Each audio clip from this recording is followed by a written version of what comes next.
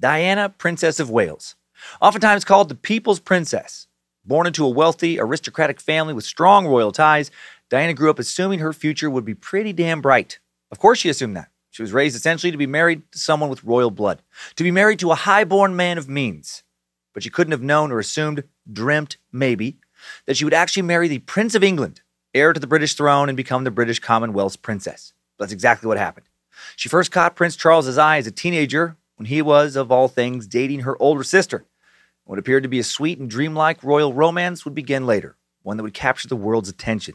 Diana seemed to have it all, to be living a fairy tale, a literal prince. The oft romanticized Prince Charming had picked her. Her foot had fit the fabled glass slipper. And she looked like a fairy tale princess. She was young, elegant, fashionable, beautiful, and now she was an actual princess. But fairy tales don't often actually really come true, do they?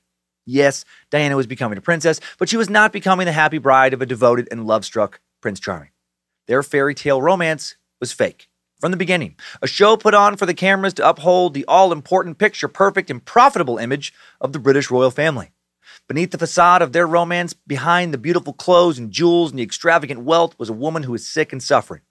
Diana wed a man whose heart and bed already belonged to someone else, someone the king and queen had deemed an unsuitable wife for their prince. Diana's happy, heavily publicized honeymoon was spent largely in tears. She'd married a man who she didn't really love because she didn't really know him, a man who wished he was married to someone else. And now Diana worked hard to hide her true feelings from the media frenzy that surrounded her. She'd sacrificed any hope for a private life once she'd said yes to Prince Charles's marriage proposal. The British media and paparazzi would now watch her every move for the rest of her life, often waiting for her to make a mistake, looking for suspected chinks in the royal family's armor.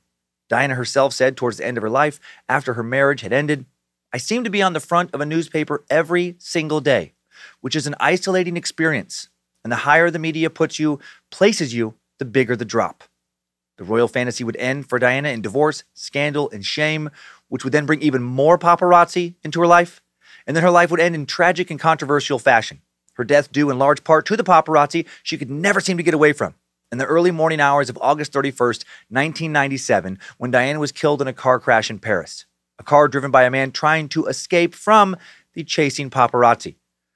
Immediately, Diana became immortalized forever as the people's princess, a mother, a fashion icon, and a beautiful, pure soul corrupted and damaged by the royal family and the media attention that came with being a beautiful and beloved princess. Wild theories immediately began to swirl around her death, many of them hinging on the royal family having her killed because she knew too many of their secrets, or because of their supposed fear that she was going to marry an Egyptian Muslim man, that she might even be pregnant with his child. Today, we explore the life and death of Princess Di, some of the history and inner workings of the British royal family, the family that shaped her life and gave her the fame that led directly to her death, and conspiracies around that followed her death in a royal, rule breaking, scandalous, and conspiratorial edition of Time Suck. This is Michael McDonald, and you're listening to Time Suck. You're listening to Time Suck.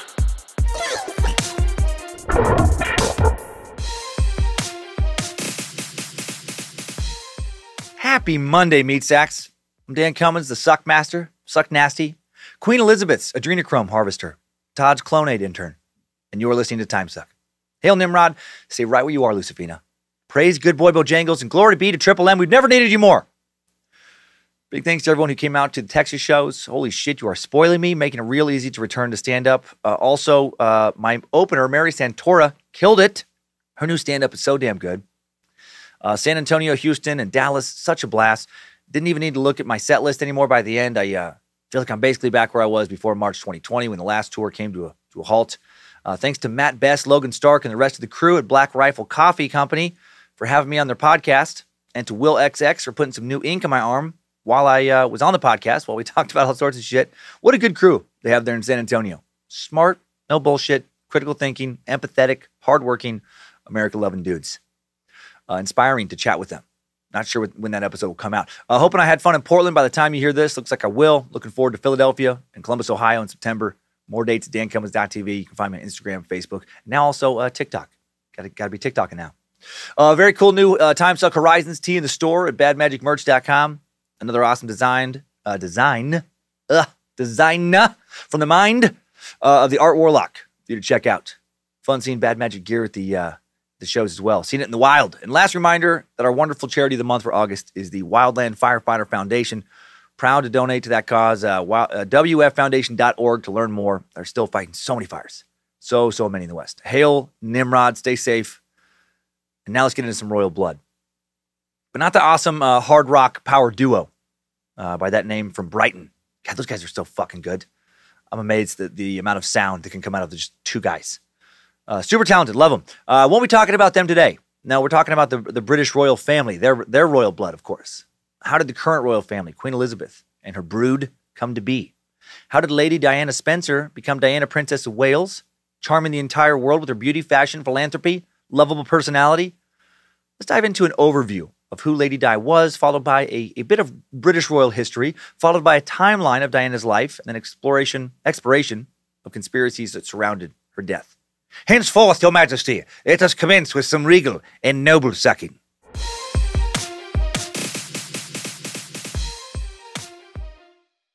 So, how did Diana earn her nickname the People's Princess? Well, by, by winning the hearts of the overwhelming majority of the British public. Most seem to love her still. She was only 36 when she died. She died 24 years ago now, but she's still very popular, still has immense and worldwide name and image recognition, still referenced almost daily on the internet for her quotes or action style or personality.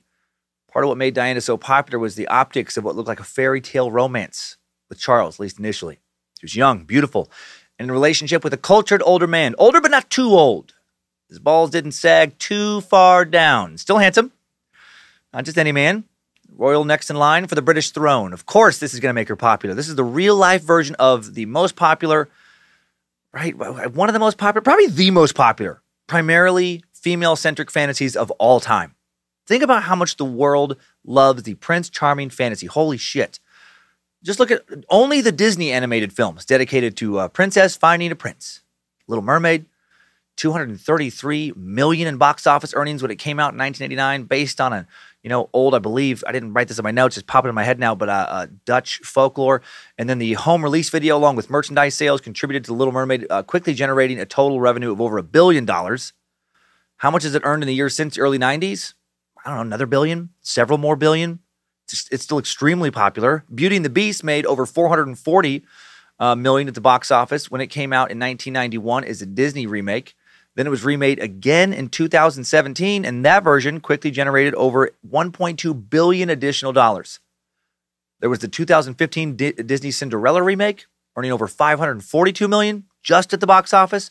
On and on and on. Think about all the princess related merch. Oh my God, when Monroe was younger, go to the Target or wherever. there's just so much princess toys in, in the in the toy section. The books, the dolls, the dresses, etc. How much traffic do stories like that drive to Disney theme parks to make billions more? And that's just like the Disney princess stuff, and just some of it. For a couple years growing up, my sister Donna wanted to be a princess. She wear like weird little princess dresses. Of course she did. For a couple years, my my daughter Monroe wanted to be a princess as well. She dressed up like a like a princess once to go to Disneyland. I'll, I'll never forget it because she threw a giant fucking tantrum at the gates of Disneyland because I wouldn't let her walk in. Had to take her in the stroller, but she was pretty hilarious to watch a uh, a furious prince, a very angry princess. Um, but yeah, princess has to be the most common fantasy for little girls, at least in the Western world, like by far. I've dated women who have actually told me they want to be treated like a princess. I feel like that's a very common quote and a, and a much more common sentiment. At least it was, you know, 20 years ago. Uh, princess aspirations strongly embedded in our culture. Essentially, the angle of being a commoner, your average Jane, and then a Prince Charming comes along and just scoops you up and makes you know uh, everything perfect. You know, picks you out of all the women in the world and takes care of your every need forever and ever, happily ever after. Uh, that narrative, even though Diana wasn't really a commoner, got attached to her story, to her life. Partially, I think, because so many actual commoners just wanted to see themselves in her story. And I'm not a big fan of this fairy tale. Uh, I didn't push my thoughts on all this to Monroe and ruin her princess phase when she was younger, but I would talk to her about it now. She's 13, if she hadn't already, you know, let go of it. I think this fairy tale encourages women to be weak and to long to be taken care of by a man, and it teaches men to look for weak ass women to be taken care of. Uh, a true lose lose. Lucifina also not a big fan. She doesn't mind being taken. She doesn't mind being taken care of by a man or being treated like a princess. That that part's fine, but you know doesn't need it wants it to be known she doesn't need that. She can take care of herself if she should show if she should choose. But anyway, the Prince Charming story, probably the most common little girl fantasy. maybe just female centric fantasy in general in the world. Tons of popular princess fairy tales also come from the Middle East, Asia, Africa. Uh, I couldn't find any, you know, quickly uh, in like South America, but I, I wouldn't be surprised if there was some equivalent. In the Western world in modern times, princess fantasies tended to have a British look to them because the British were running more of the world than anyone else. In 1920, the British Empire covered 24% of the Earth's total land area, either directly or through Commonwealth influence. And then there were all the other countries like the US, whose culture directly tied to England and its monarchy. They exported their culture in recent history more successfully than any other nation by far that at least uh, that has a monarchy. And because of this, you know, British royal marriages and weddings, princes and princesses, extremely appealing to the international public for centuries. Back in March of 1863, newspapers around the world printed front page stories about the wedding celebrations of King Edward VII uh, of England and Princess Alexandra of Denmark. Huge crowds lined the streets hoping to get a glimpse of the real life princess. The 1923 wedding of Queen Elizabeth, the Queen Mother, the current Queen Elizabeth's mom, uh, George VI, uh, you know, uh, her Queen, Queen Elizabeth's dad, were also widely publicized, as was Queen Elizabeth's wedding to Prince Philip in 1947. But in the 1940s, media wasn't nearly as internationally pervasive as it, as it would become, you know, in the 1980s. For example, less than 5% of American households had TVs in 1947. Just 7,000 TVs sold that year. Isn't that crazy? Just 7,000. In 1955 million TV sets were sold. And between 10 and 20% of American homes now contain a TV set. By 1978, nearly 75% of American households have a TV. And when Charles and Diana marry on July 29, 1981, an estimated 750 million to 1 billion people watch on TV. Up to a billion people watch their wedding. It's the most watched wedding in the history of the world, like by far. Time magazine reported a splendid prince, his beautiful princess, a carriage, a crowd, fantasy come to life, a dream riding in stately progress through London. Except this moment and the ones that came before and after were real for all to observe. Diana became the first Englishwoman to marry the heir apparent first in line to the throne in 300 years. Previous brides had long been from other nations. And England fell in love with one of their own. Just fuck yeah, bro. She's one of us. Uh, and she seemed more like one of you know one of their own, and the, the, compared to a lot of other royals, she was modern, seemed kind, came across as down to earth and approachable. She didn't seem stiff and unapproachable like Queen Elizabeth and many other royals. She gave off less of a blue blood, reptilian shapeshifter, adrenochrome harvester vibe, if you're a longtime sucker and current on your conspiracy lore. She basically immediately became much more popular than her husband, uh, who seemed stiff and aloof. The popularity discrepancy would quickly cause problems in their marriage, actually. Charles, well aware that the people preferred his wife to him, and that was not the power dynamic he'd hoped for. Uh, overall, though, the royal family uh, loved the attention initially shed on Diana. They saw her as the, the perfect princess initially. Uh, the royal family, you know, viewed her as a wonderful public image asset. And public image, this is so important today, huge for the royals in modern times. It's fucking everything for them. The Prince Charming stuff, uh, all those Disney movies and more, great for royal business. Keeping a high and regal profile is what keeps the British monarchy afloat. The position they now hold in British culture is so interesting to me. They haven't had any real political power in roughly two centuries. And their power has been waning actually for centuries before that. It's 99.9% symbolic now. The king or queen is still technically the head of the state or head of state in the UK, but in name only. The prime minister runs the government, an elected official. The prime minister is a voted member of the House of Commons. The House of Commons is where legislation actually gets uh, legislated. The monarch privately advises the prime minister to some degree, but the prime minister doesn't actually have to listen to them. That's a, doesn't have to take their advice. You know, legislation passed by a body of voted in representatives, not by a monarch, uh, not by other nobility. One of the crown's most important responsibilities now is to be uh, the official patron of over 600 charities. And that is very cool.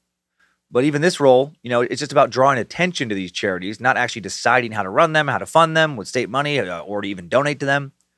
It's just to show up and, you know, uh, bring some attention to them. Show up at a, at a gallery opening, you know, make a statement. Most of the royal family's income today is totally dependent essentially on tourism. Tourism driven by the image of being royal. They're a distant echo of what they used to be. A variety of properties, collectively referred to as the Crown Estate, such as Buckingham Palace, charge tourists to enter and explore them. They sell stuff in their gift shops, that sort of thing. Uh, one of the biggest money makers the past two years has been a variety of royal only fan accounts. Uh, Prince Charles, Prince William, Kate Middleton, definitely Kate Middleton, uh, Queen Elizabeth, the others, they all have OnlyFans adult content accounts, aka they monetize nude pics, bathroom mirror selfies, gonzo porn, and that kind of stuff.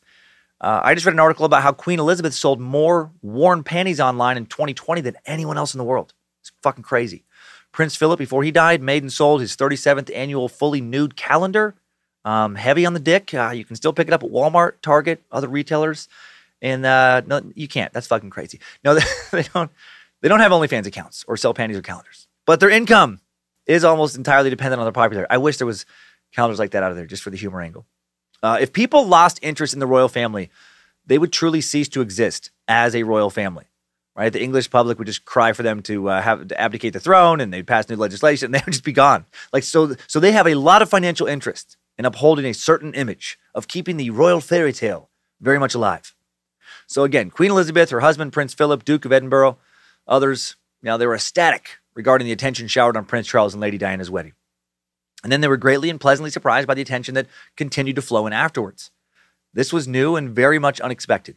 Throughout royal family history, after a wedding took place, you know, the attention typically died down substantially. Not this time. Not during the TV age, and not with Diana. The paparazzi and newspapers, right, with all the tabloids now, constantly tried to photograph her, and tabloids are fucking huge in the UK. Uh, much more, uh, much bigger than in America, if you didn't know. Uh, like these daily tabloids. Uh, the paparazzi and newspapers constantly tried to photograph her because her image, you know, just sold more papers. In addition to being a princess, she was gorgeous. She'd make a lot of lists of the world's most beautiful people. Beautiful princess who actually looked like a fairy tale version of a princess. Nice! That sold papers. That sold stories. And then later, when the press figured out her relationship with Charles was a sham, when scandals began to appear, oh, wow. Well, those stories, they sold even better. Negative news always seems to beat out positive news, doesn't it? And this negative news was not the attention the royal family wanted, not the fairy tale they're, they're trying to project. The royals had no interest in the scandals the tabloids loved. Tabloids loved a scandal so much, if one wasn't actually happening, right, they just create one. That's been their business model for a long time. They created one with the first, uh, or the first one with Diana in February of 1982, less than a year into her marriage. The paparazzi followed her and Charles to the Bahamas and photographed her with a bikini. She was pregnant with Prince William at the time. And Queen Elizabeth was furious. She called it the blackest day in the history of British journalism. And Queen Elizabeth is uh, a bit dramatic.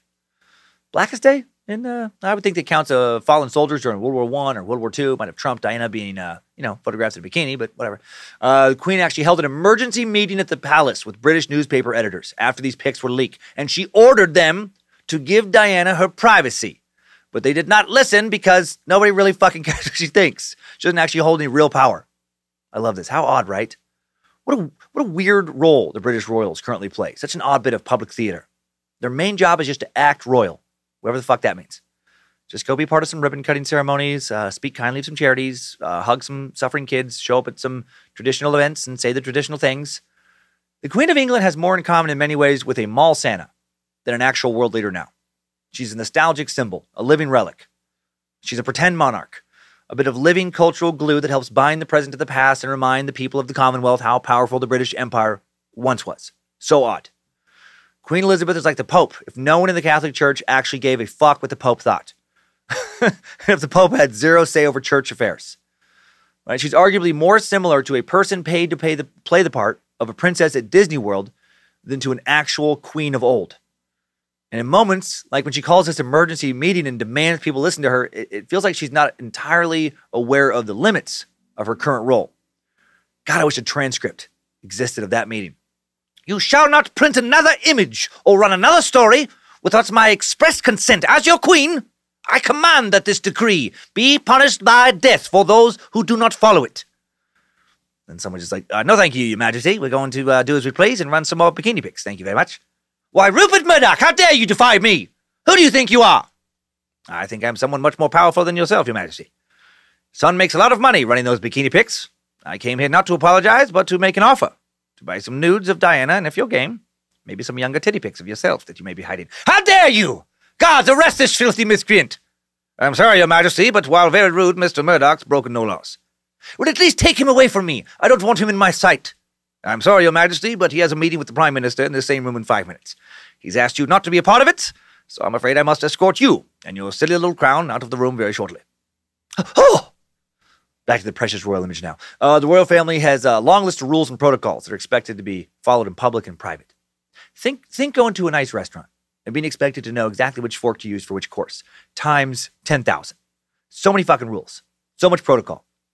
Diana would soon become notorious for breaking these rules, which endeared her to the general public, but did not endear her to Queen Mummy, to the royal family. Uh, for example, Diana chose her own engagement ring from, wait for it, a catalog. Like some common street strumpet. Eat wawa. Easy, Bojangles. Stop whimpering, good boy. I know it's upsetting. Uh, royal rings were typically, you know, custom made. But Diana wanted, uh, you know, a different kind of ring. She wanted one that she'd already seen in the House of Garrard in their jewelry collection catalog. And they are one of the crown jewelers, but she didn't want one of their custom ones. She was like, no, that one's cool. She chose a ring that was accessible to the public. Some common peasant could buy it. This, dis- this displeased the royal family because they like to project a much more unattainable image. Right? They could get jewelry that was inaccessible to the, to the general public. They were above the common hordes. They were better than you. And that's why you paid to come see their properties. That's why it meant something when they showed up at the unveiling of some new important public work or whatnot. You're being blessed by the presence of royalty, not some fucking lady from down the street who wore the same ring you did. They didn't want a royals, they're just like you image. Uh.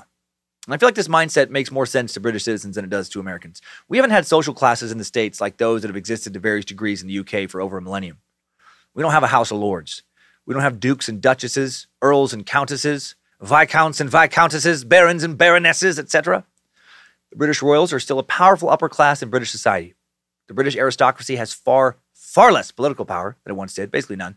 Uh, they can't stop bills from becoming laws anymore, uh, like they, you know, still could as recently as 1911. Now they can just delay them. But they do own more than a third of all British land. Still, yes, over 33% still in the hands of the aristocrats and traditional landed gentry. So that gives them a lot of cultural weight and financial power. Still a lot of social cachet in being a lord or a lady. It means, in all likelihood, you grew up in wealth and privilege. Your family owns a lot of valuable land. Your bloodline can be traced back to kings and queens, if not in England, somewhere else in Europe. It means your social circle is full of other royalty and artists, politicians, industry leaders, etc. That that's you know the people that that circle attracts. Maybe the closest thing to royalty we've ever had in the U.S. has been the Kennedy family, but their fame and prestige has been waning. I would say for the past few decades, quite a bit. Currently, this is might sound weird. I think the Kardashians are the closest thing we have in America to British nobility, which is really fucking sad a family famous now primarily for just being famous. A family you expect to take the most luxurious vacations, live in decadent and uh, unattainable homes, drive the most expensive cars, wear the biggest jewels, custom jewelry, date other celebrities, etc. Like being a Kardashian carries an association now with like a life of luxury. And just like we have been culturally fascinated with the Kardashians for years now, as far as tabloid coverage goes, or that type of coverage, the British public has long been fascinated with the royals. So anyway, Diana got what Queen Elizabeth considered a basic white bitch wedding ring. And then she wrote her own vows and refused to say that she would obey Prince Charles. Egad, what is happening?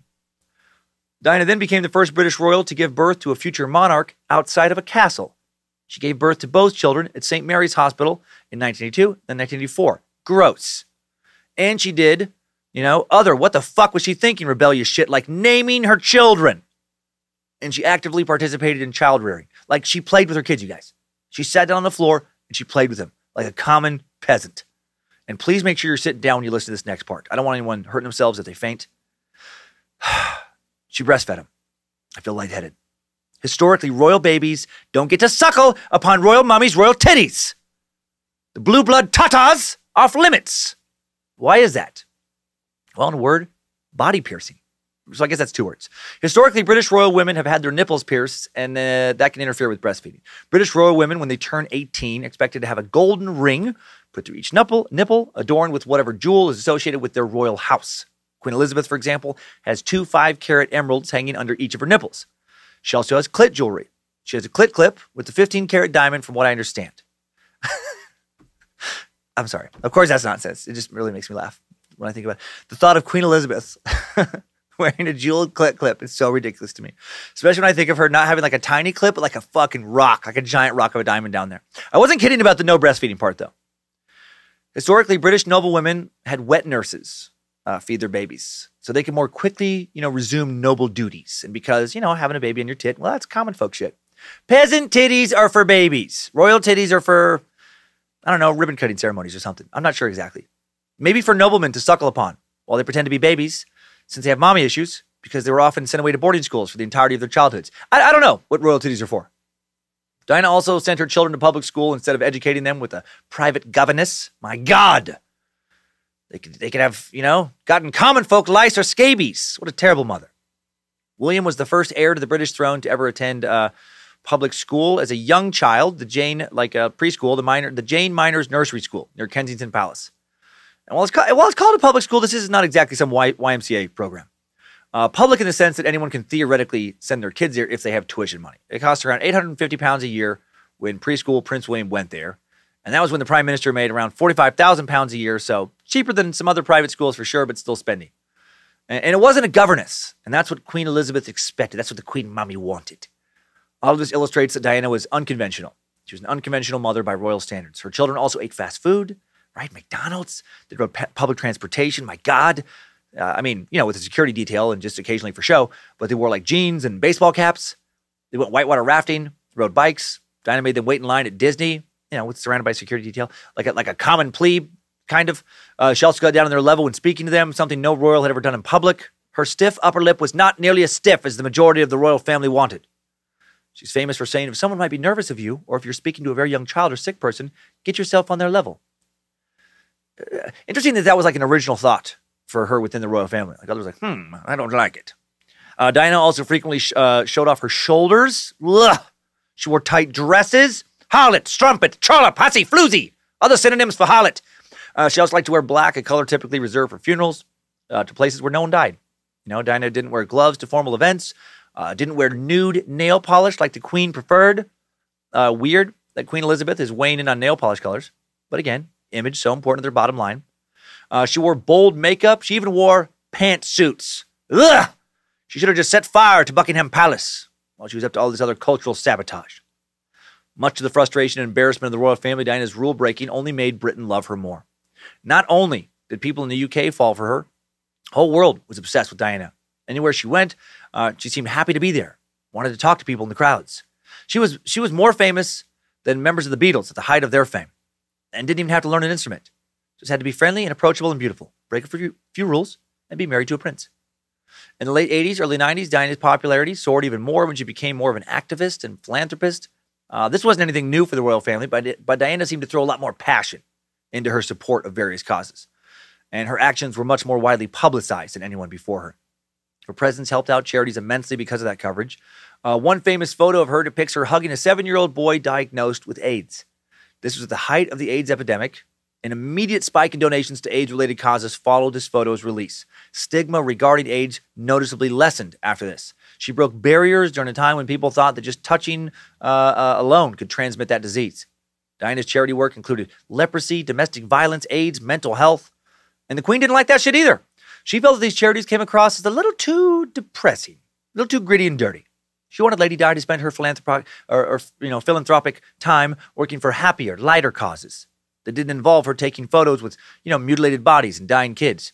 Uh, Diana, why must you spend your days touching so many pale children, and, and not the good, pale, noble-blooded kind, Uh, the bad pale? Might, might throw blood or cry in your expensive blouse kind. Why can't you support a charity for, say, uh, buying aristocratic children new riding gear to use at boarding school so they don't have to carry the dreadful stuff from home and bring it in and out of their limos? Uh, the more I read about Lady Di's life or read about it, the harder it became not to really dislike Queen Elizabeth. Uh, Lady Di at one point was president or patron of over 100 charities. Another one that drew the ire of the royal family uh, was her work with organizations dedicated to both dismantling landmines and also no longer using them in battles going forward. On January 15th, 1997, uh, Diana put on protective gear, walked across a landmine field in Huambo, Angola. Uh, she drew attention to the issue of banning landmines around the world. Her actions helped propel the United Nations Mine Ban Treaty, and the royal family did not like this because they felt her actions were too political, possibly divisive. Felt a princess shouldn't be seen putting on military gear and walking into a war zone. And of course, the public loved her still more for this. So much of what she did, loved by the public, disliked by the royal family.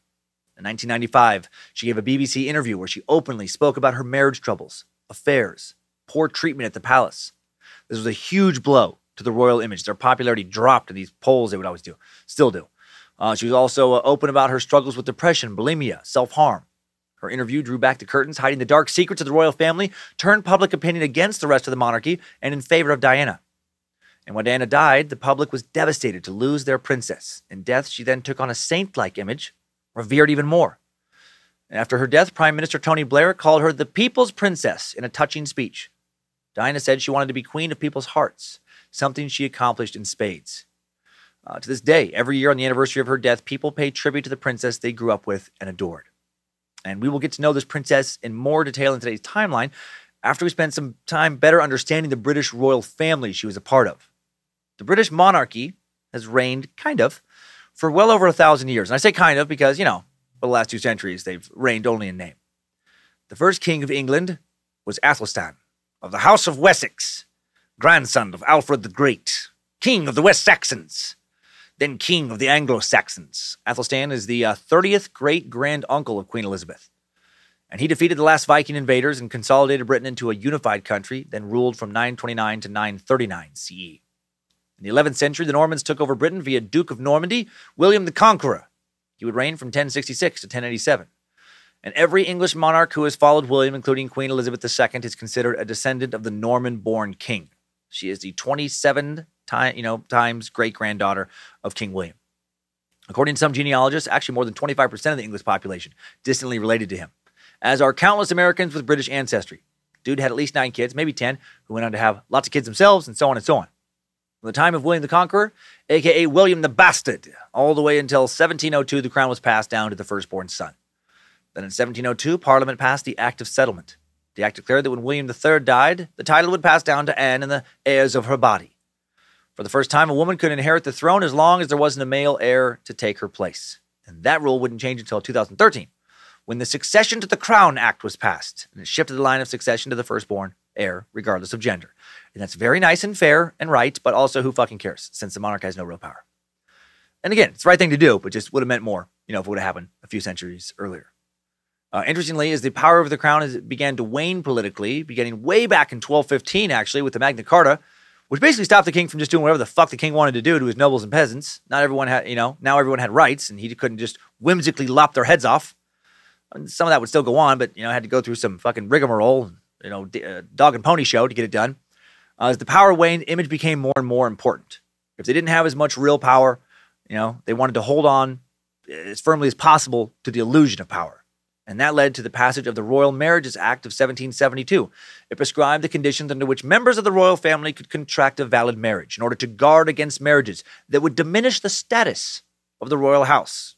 Can't diminish the status of their mascots. For the next 250 years, commoner marriages were almost non existent.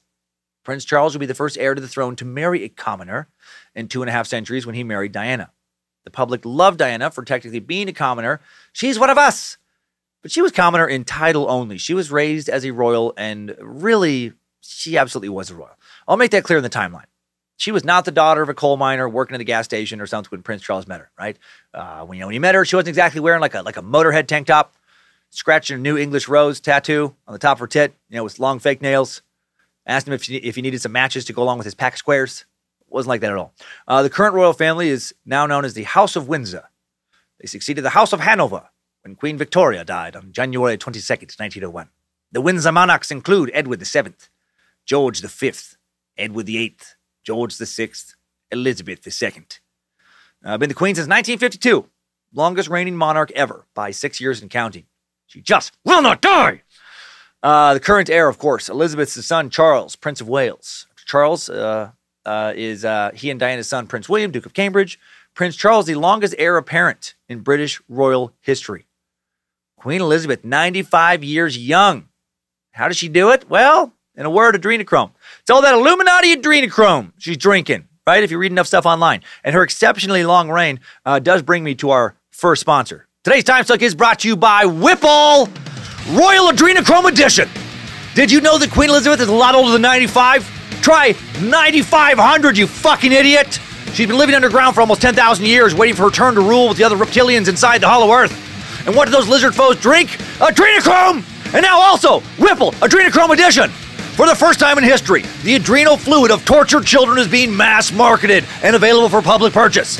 Every 48 ounce can of Whipple Adrenochrome Edition, packed with 15 grams of methamphetamines, 75 times the normal dose, 50,000 milligrams of caffeine, 6 full ounces of MCT oil, 8 ounces of pure, unadulterated children's adrenochrome harvested directly from underground Illuminati torture facilities. And with new flavors like Royal Peach Panties and Blueberry Blue Blood, fear has never tasted so good. Drink enough Whipple Adrenochrome Edition, and your skin will turn to scales. Your tailbone will sprout a tail, and your cold black heart will beat forever! Fuck you! Fuck your family! And drink Whipple! Please note that availability will vary based on your location since Whipple Adrenochrome Edition is illegal as fuck everywhere other than Portugal and the Netherlands. Huh. Uh, if you're a new listener, uh, don't, even, don't even worry about that. You never, you never heard that. Just forget about it. Forget, forget about it. Let's get back to the narrative. Gosh dang. Uh, Queen Elizabeth is part of the House of uh, is part of the House of Windsor. The House of Windsor hasn't accomplished much as far as uh, rulers go. Again, because they never really ruled. Uh, they've only had ceremonial roles and go- roles in government. After the Parliament Act was passed in 1911, like I mentioned earlier, the House of Lords lost uh, the last real political power they had, the ability to veto legislation. Now, now they can only delay it, which is funny to me. Now they can just be like, I, I don't like it. And then the House of Commons, 650 actual elected officials, can be like, we don't fucking care. All right, then, uh, carry on. Uh, during Elizabeth's reign, there's actually been talk at numerous points of abolishing the monarchy altogether. Beginning in the late 1960s, British polls during that time revealed that a majority of people believed that the monarchy was an out of touch anachronism, a needless and useless relic of a bygone era. To try and improve their image, the royal family participated in a 1969 TV documentary titled Royal Family to open up more to the public. And the response was divided. Uh, ever since, there have been occasional grumblings calling for the monarchy to be abolished, have them abdicate the throne. If that ever happened, the Windsor family would lose a lot of their assets. Buckingham Palace, Windsor Castle, they don't actually own a lot of these properties anymore. They're uh, owned by a trust of sorts. And should the royal family ever lose their royal titles, ownership of those properties would revert to the state. Queen Elizabeth does privately still own a lot of land, though, such as uh, uh, Bal- Balmoral, Balmoral Castle and the Scottish Highlands, uh, in the Scottish Highlands, and uh, Sandringham Estate in Norfolk. So uh, she's going to be fine. She and her, whoever's in her will, is, are going to be fine if that happens. Uh, they would rather not lose their titles, though. Uh, rather not lose a lot of their assets. And one way they could do that would be through too many scandals, right? If they became a bunch of rude, trashy folks showing up for official duties in sweatpants and Crocs and graphic T-shirts with like three wolves howling at the moon on them, if they burped and scratched their asses during public speeches, if they pissed on the lawn of Buckingham Palace or flashed their pierced tits around Windsor Castle, and not just on their OnlyFans accounts that they don't have, uh, they would very likely be abolished. Uh, realizing uh, that my OnlyFans accounts uh, jokes may not last very long. may be incredibly dated in a month or so after this episode drops. If they if they if OnlyFans goes through that adult content ban, they've been taking a lot of heat online for proposing.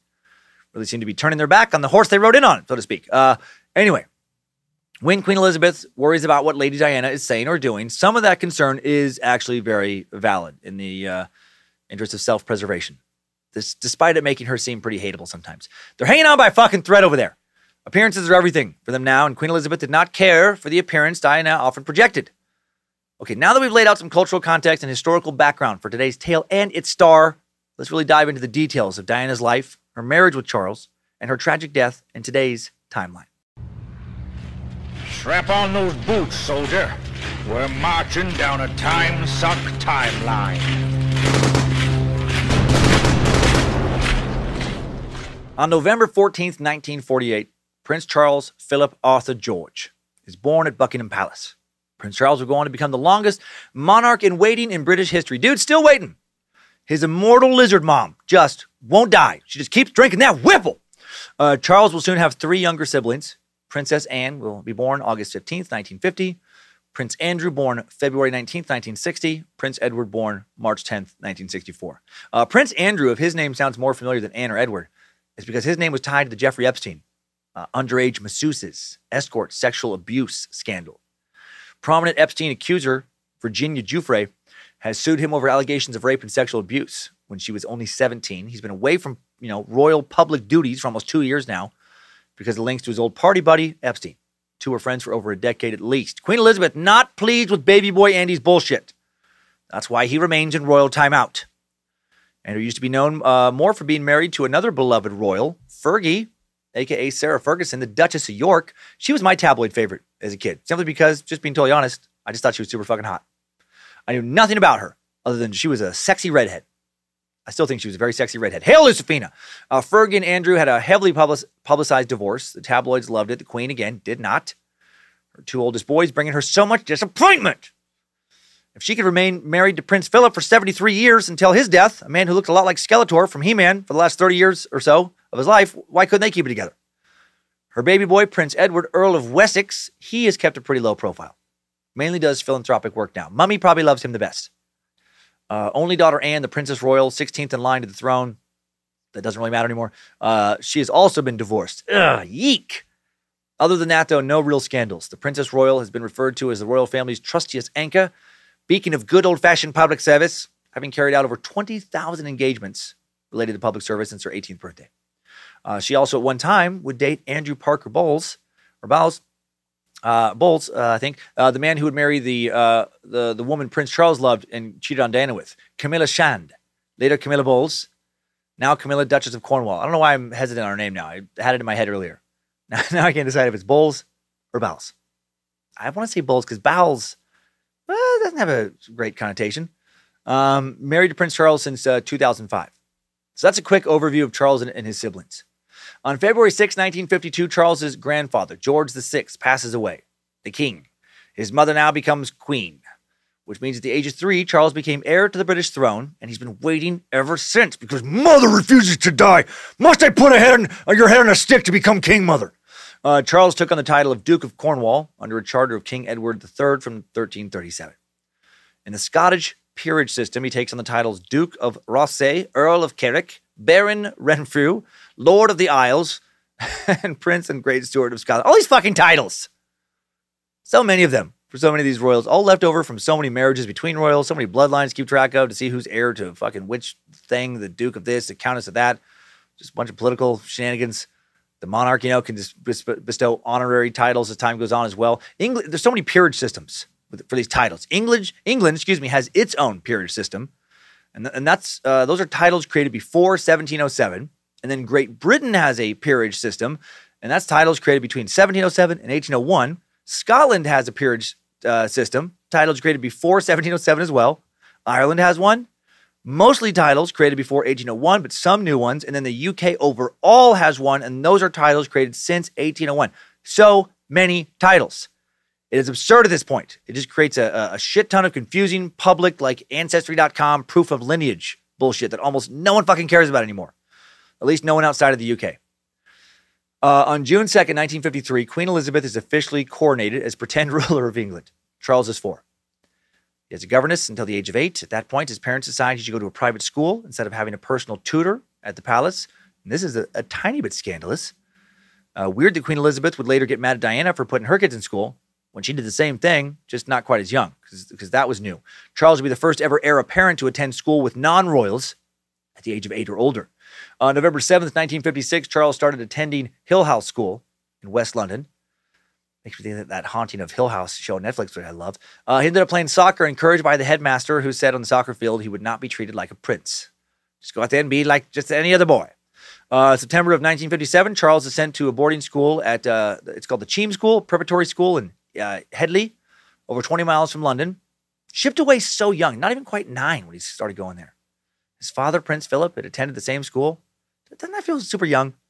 I mean, one thing if your parents don't have the means to raise you full time for some reason, they need to ship you away since uh, they can't like work and raise you or something. Or it makes sense if you have special needs or behavioral problems, perhaps. But here, like when you have parents that do have the time to raise you, uh, time to support you, and, and then they still ship you off. I mean, it's a very prestigious school, but it just seems so cold to me. I feel like that's going to fuck you up a bit emotionally. Uh, 1958, Queen Elizabeth titles her son Prince of Wales and Earl of Chester. Gets, give, gives it some more time. He didn't have enough titles. Uh, God, look at that poor little sh- schlub. He's only got like 17 titles. That's why he cries all the time. Got to give him a couple more titles. He's now nine years old. Uh, July 1st, 1961, Diana Spencer is born at Park House in San- Sandringham, Norfolk. Her full title at birth is the Honorable Diana Frances Spencer. She's not one of the common folk. Her, her dad is Edward John Spencer, Viscount Althorp. Viscount uh, is a courtesy title here, given to a titleless member of the nobility. But uh, when his father died, so when Diana's grandfather died, her dad becomes Earl Spencer, which is a hereditary title. Now he now he now is a member of the House of Lords. Uh, Edward was very close to the royal family as well, serving as an uh, equerry, basically a royal squire in charge of making sure other people are taking great care of the king and queen's fancy uh, stable of horses. Uh, Diana's mother was Frances Ruth Burke Roche, uh, Viscountess Althorp, and daughter of a baron. She was a confidant of the current Queen Elizabeth's mother, Queen Elizabeth I, the current Queen, and you know Queen Elizabeth II. Both Diana's parents extremely friendly with the King and Queen. Uh, Diana's parents married in June 1954. Uh, the Queen and Prince Philip attended. The Spencers leased Park House, then part of Queen Elizabeth's estate, a big noble home, one of several, on the luxurious 20,000 acre Sandringham estate. Queen Elizabeth has spent holidays and up to two months a year at this estate for her entire life. Her, her father died at this estate. He loved it. Uh, growing up, Diana played with Charles's younger siblings, Prince Andrew, Prince Edward. The Spencer family not only lived on a very, on very exclusive royal land, a big level up from a gated community, they were also wealthy, uh, very wealthy themselves, thanks to centuries of profitable sheep farming and wool trading.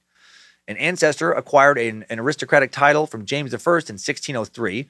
Uh, in 1765, a Spencer was granted an earldom. Diana's ancestors went on to become some of the Knights of the Garter, uh, Privy Councillors, uh, a First Lord of the Admiralty. She was also related to Charles II and James II through illegitimate relationships. Her family once helped install King George I on the throne in the 1700s. According to Diana's, to Diana's friend Rose Monckton, whenever she was feeling down, Diana would tell herself, Remember, you're a Spencer. Like her family's name held power and prestige, not a commoner. Only technically a commoner because she was not born a duke, marquess, earl, viscount, or baron. Or I guess, you know, baroness. However, she was an aristocrat from an extremely wealthy family, right? She was directly related to people who did hold these titles. And I think I keep beating that drum because, um, you know, uh, only being casually familiar with her growing up, I just assumed that she was some commoner because the press loved to sell that narrative because it fit the beloved fairy tale. Uh, during the holidays, the Spencer children were sent to visit the royals and do things like watch Chitty Chitty Bang Bang in their private theater on their estate. Sounds fucking awesome. Growing up in Park House, Diana had a governess, a house cook, a butler. All the staff had their own private cottages uh, on the massive property. And her family had massive property elsewhere as well that I'll get into in a little bit. Like it's crazy how big some of these estates are. Diana had two older sisters, one younger brother, Lady Jane Fellowes, Lady Sarah McCorquodale, and Charles Spencer, ninth Earl Spencer. Sarah was born in 1955, Jane in 1957, and then Charles, you know, a little bit later, 1964. Uh, Diana, while growing up with money and privilege, uh, she did not grow up in a happy home. Her parents argued, fought often, would separate in 1967. One of Diana's earliest childhood memories was of her hiding behind a door and watching her father slap her mother across the face. Why they didn't get along is uncertain. Diana and her siblings could never ask their parents about their problems. They remember their mother often crying. They constantly had new nannies. So, what's going on there? The stream of Nanny's domestic turmoil brought a fair amount of instability to Diana's life. She never had a constant support system. Additionally, eating disorders ran in the family. Diana's sister Sarah would suffer from anorexia. Diana would experience severe bulimia growing up not a great social class to be born into and also have uh, some kind of body dysmorphic, you know, eating disorder, I imagine. I wonder how, uh, you know, being born into a noble family, like how much it fed into developing anorexia and bulimia. I mean, the pressure to look picture perfect had to have been immense. You're expected to look a certain way, uphold your noble family name. You got to be beautiful, have perfect manners, have a slim figure, no wrinkles in your clothes, no scuffs on your shoes, dress fashionably, but not too fashionably, look attractive, but not overtly sexual, Lady Di and her sisters expected to fit inside a very narrow little box. I'd fucking hate that. The money would not be worth it to me if I had to become a slave to that royal image. Uh, backing up a bit to reconnect with Charles now, since his story is obviously so uh, so tied to hers. In April of 1962, the prince turns 13 and begins his first term at Gordonstoun, a boarding school way up in Scotland. And another school his father had attended before him. Must carry on the royal legacy. Four years later, in 1966, Charles spends six months as an exchange student at Timbertop, a remote outpost of the Geelong Church of England Grammar School in Melbourne, Australia. Uh, seven years later, 1973, he say, he'd say his uh, time at Timbertop was the most enjoyable part of his whole education. Uh, current UK Prime Minister Boris Johnson actually took a gap year working at Timbertop as a teaching assistant in 1983. Uh, Charles would return from Australia to Gordonstoun for his final year, was appointed head boy he took his A levels and earned a B in history, a C in French, and distinction in an optional history paper. He did gooder than many. In 1967, Charles attends college at Cambridge University to study archaeology, anthropology at Trinity College. He changes his major to history for the second part of his bachelor's degree. 1970, he finishes his degree with a 2 2 classification, which means, from what I understand, that he graduated with a lower division of second class honors. So, not, not the top of his class, but didn't barely scrape by either. The same year, Diana's parents divorce. Uh, she's just six years old. Her father wins primary custody of the children. Their marriage would officially dissolve two years later in 1969. Understandably, the, uh, the custody battle, uh, which was reported to be brutal, was traumatizing to Diana and her siblings. The Spencers would continue to live with their father at Park House. Uh, 1968, when she's seven, Diana attends a preparatory school, Riddlesworth Hall, about 30 miles from Sandringham. This was an elite boarding school for wealthy families to send their daughters to. On July 1st, 1969, Diana's eighth birthday, Charles is invested as Prince of Wales by the Queen, which basically means, you know, they put on a ceremony. Pomp and circumstance. Traditionally, the heir of the British throne is known as the Prince of Wales. Why? Tradition. So much of this stuff is just tradition. Uh, according to tradition, since 1301, the Prince of Wales has usually been the eldest living son if and only if he is also the heir apparent of the King or Queen of England. King Edward I started this tradition basically as a we respect you, please don't make trouble, just remain under our thumb, little nod to Wales. Because the Crown of England had annexed Wales recently in 1284. Before the investiture, uh, as a sign of respect, it seems, Charles spent a term at the University College of Wales at uh, Aberystwyth. this is a tough one. Ab- Aberystwyth. Uh, something like that. Learning to speak Welsh. Welsh words are really tricky, I think. Uh, March 8th, 1971, Charles flew himself to the Royal Air Force, Cranwell in Lincolnshire. Lincolnshire, I got that one, to train as a jet pilot. Sure, not Shire. People, not hobbits. I'm learning. Uh, now an adult, Prince Charles had a lot of pressure on him, kind of. He had no real pressures. He didn't have to worry about where his next meal was coming from, or what he'd do if he got sick, since he, you know, didn't have health insurance. He didn't have to worry about his transmission finally going out, not having enough money for a new one. You know, mommy and daddy wanted him to get married, and well, that was the end of his pressure. Uh, the one thing his parents always insisted on was that he find a bride. And to be fair to him, I mean, there was pressure to find a bride uh, in the sense that had, he had to find one deemed appropriate by the crown, which was tricky. According to his biography, the prince couldn't just have anyone fill this role. Uh, his potential bride had to be highly born, have a virginal reputation, and could not be Catholic. It's fucking weird. Obviously, few women would meet all these criteria. Got to keep that image up. That's all they have left. What a strange game British culture plays with their fake royalty. I will never totally understand it. I mean, if it makes them happy, good for them. I just can't take it seriously. Like, if I was given a chance to meet anyone on earth, I don't think the Queen of England would be in the top thousand choices of mine. to throw it back to last week, I would rather meet Corey Feldman than the Queen of England. And I don't even really want to meet Corey Feldman. I do find the royals fascinating, though. I find how seriously they take these traditions that to me just ring so hollow now since royalty has no real power. Just super fascinating.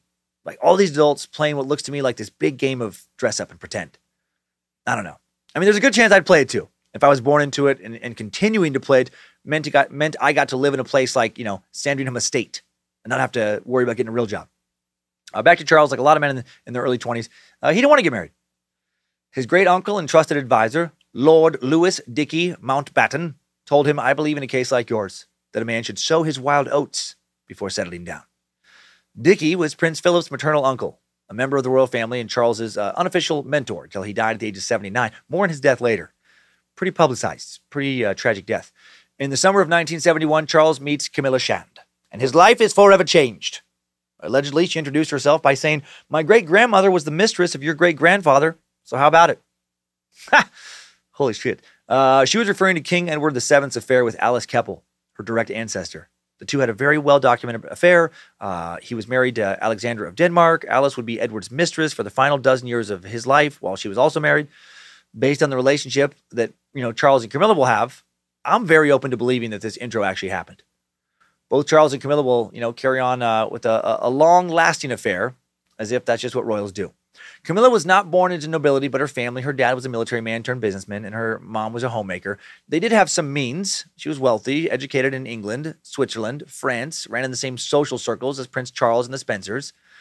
Maybe not part of like the inner, inner circle, but, uh, you know, she showed up at a lot of the same parties. In September of 1971, Charles begins his naval career, following his footsteps of his father, grandfather, and great grandfathers. His six week course at the Royal Naval College is followed by service on the guided missile destroyer HMS Norfolk and two frigates. The next year, 1972, Charles grows closer to Camilla. They spend time together, read, they fucked a bunch.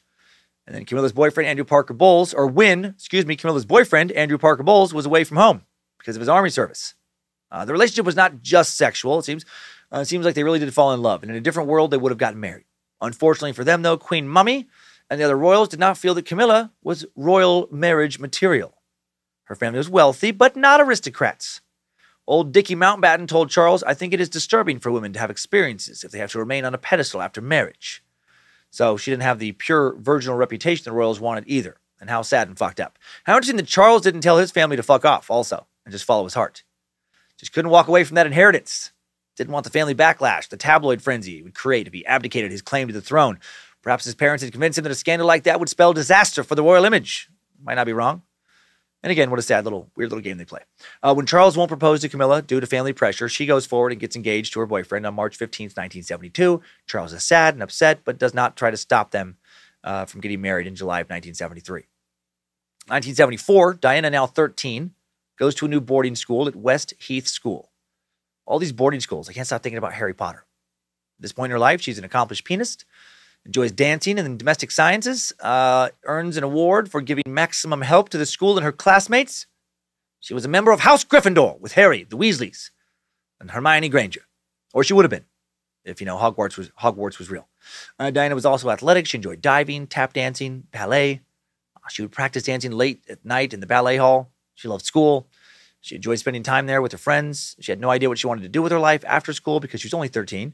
At that age, she told her dad she was going to marry someone in the public eye, most likely an ambassador. Interesting. I imagine she thought that because she was not being groomed to be independent. She was groomed to be, you know, a noble bride. She wasn't the best student. Her least favorite part of school was academics. She failed her O levels twice. The British school system, uh, so different than the American school system. This is basically the equivalent of like not finishing high school. Like like uh, like not passing O levels. O levels is similar to like failing your GED. Dinah will leave West Heath at the age of 16 for, for finishing school now. And a finishing school is a school for young women that focuses on teaching social graces and upper class cultural rights as preparation for entry into high society. A place for royals and women of high society to learn all the many, many do's and don'ts of proper etiquette. Pinky's out, motherfucker! Pinky's out! That sort of thing, roughly. I really like and respect a certain level of manners and etiquette, but not, not this much. Not to this extent. While Diana was learning to be a proper lady of the royal court, Charles is qualifying as a helicopter pilot before joining 845 Naval Air, the 845 Naval Air Squadron. And very cool that he's serving and learning these skills, but was there any chance that he would actually be sent into battle uh, if something occurred in his life would be put at risk? I have to think no fucking way. I have to think that most of this is ceremonial, you know, done for optics. You know, was he was he a real soldier or was this pageantry? Look, mummy, Charlie's flying the chop chop. I feel like it's that sort of thing. Uh, April 1975, Diana becomes Lady Diana Spencer when her, uh, her father inherits the title, the 8th Earl of Spencer. Lady is a general title in England for any peeress below the rank of Duchess. And a peeress is a female member of the British nobility, of that peerage system. Uh, the family now moves from Park House to the Spencer seat in Althorp, a family home built in 1508 in Northamptonshire. And this is a fucking grand estate. Another like something out of a movie about British royalty. This and this shows like the Spencer family's wealth. This is a massive fucking home filled with enough expensive art to like become an art gallery, sitting on a 14,000 acre estate in Northampton. The main house has 100,000 square feet of interior space and 31 bedrooms. Lady Di's brother, Charles Spencer, 9th Earl of Spencer, lives there now. But she's the people's princess. She's a commoner, just like you. Just an untitled commoner, slumming it on a property literally bigger than the fucking entirety of Manhattan. I can't even comprehend that level of wealth. It costs over 130,000 pounds a year just to keep the lights on this place now and the water running. This is part of the royal fantasy, right? This insane level of not just wealth, but old wealth and all that comes with that. Her family bought the land uh, for this estate in 1508, decades before the first European city founded in North America, St. Augustine, was even a thought in some conquistador's mind. Although Diana was now a lady, she was uh, still technically a commoner because while her father had a proper title, she did not. If she marries the wrong dude, Goodbye, proper title. Oh, the scandal. On February 9th, 1976, Charles takes command of the coastal mine hunter, now HMS Bronington, for his last nine months in the Navy. Navy. 1977, 16 year old Diana uh, attends finishing school in Switzerland. She's not great at it. Instead of focusing on learning French, making sure she knows exactly how to carry herself in a variety of situations, she mostly focuses on having a great time skiing. And her family doesn't care. Uh, they apparently consider her education just to be a uh, formality, right? Just so she can say she went there. Uh, her family fully fully expected her to marry a rich man, and then she wouldn't have to work if she didn't want want to. These people live in a world I've only experienced in like fictionalized versions of like uh, of you know like books, TV, TV uh, movies. I've I've never known someone who runs in these kind of circles. I doubt many who've grown up in America have, like unless their family's connected to European aristocracy. Arist- or, yeah, oh my God, aristocracy. It just doesn't seem real. In November 1977, Diana and Charles, who've known each other to some extent since Diana was a small child, reconnect when he's invited to a weekend at Althorp. Charles is there visiting her sister, Lady Sarah Spencer, six years older than Diana, seven years younger than Charles. Uh, Diana later recall, recalled Charles noticing her that weekend. She's 16, uh, he's 29. She tells her school friends all about meeting the prince. According to Diana, her sister Sarah was all over Charles like a bad rash. Funny way of putting it. Charles first approached young Diana after a dinner and uh, asked uh, her to show him their art gallery. And I, she's sorry, I just got confused there for a second. I made a lot of noise, and he liked that. And he came up to me after dinner, and we had a big dance. She said she was surprised by the attention, and then they didn't speak again for the next two years. Her sister Sarah's chance of becoming Charles's bride soon vanished later in 1977 when she spoke to the tabloids about the prince. She told them she didn't yet love Charles, and she wasn't ready for marriage. Maybe she wasn't that interested. It's, uh, it's not like she needed Charles's money. She could keep uh, living in one of the 31 bedrooms of their family summer home. Charles didn't care. If Sarah didn't want to marry him, plenty of other women would. He was considered one of the you know most eligible bachelors in the world. And he's rumored to have a 15-inch bilingual penis that can juggle, ride a bike, and always select the perfect wine to pair with your meal. He's not rumored to have that, but still, he's pretty big deal as a bachelor. And he was not in a real big hurry to get married despite the family pressure. Unlike his future bride, Charles did not have to be a virgin on his wedding day, and he spent, uh, well, he spent a lot of time with the ladies. Classic old double standard in full effect here with the Royals. Lucifina not happy. Uh, the 60s free love counterculture revolution, a lot of British bands had been at the forefront of, did not seem to bleed over into the sex lives of women either in the royal family or women considered to be married into the royal family. He briefly considered Lady Jane Wellesley's marriage material. She's the daughter of the Duke of Wellington, perfect virginal bridal candidate, but they had no romantic feelings for one another and just remained friends.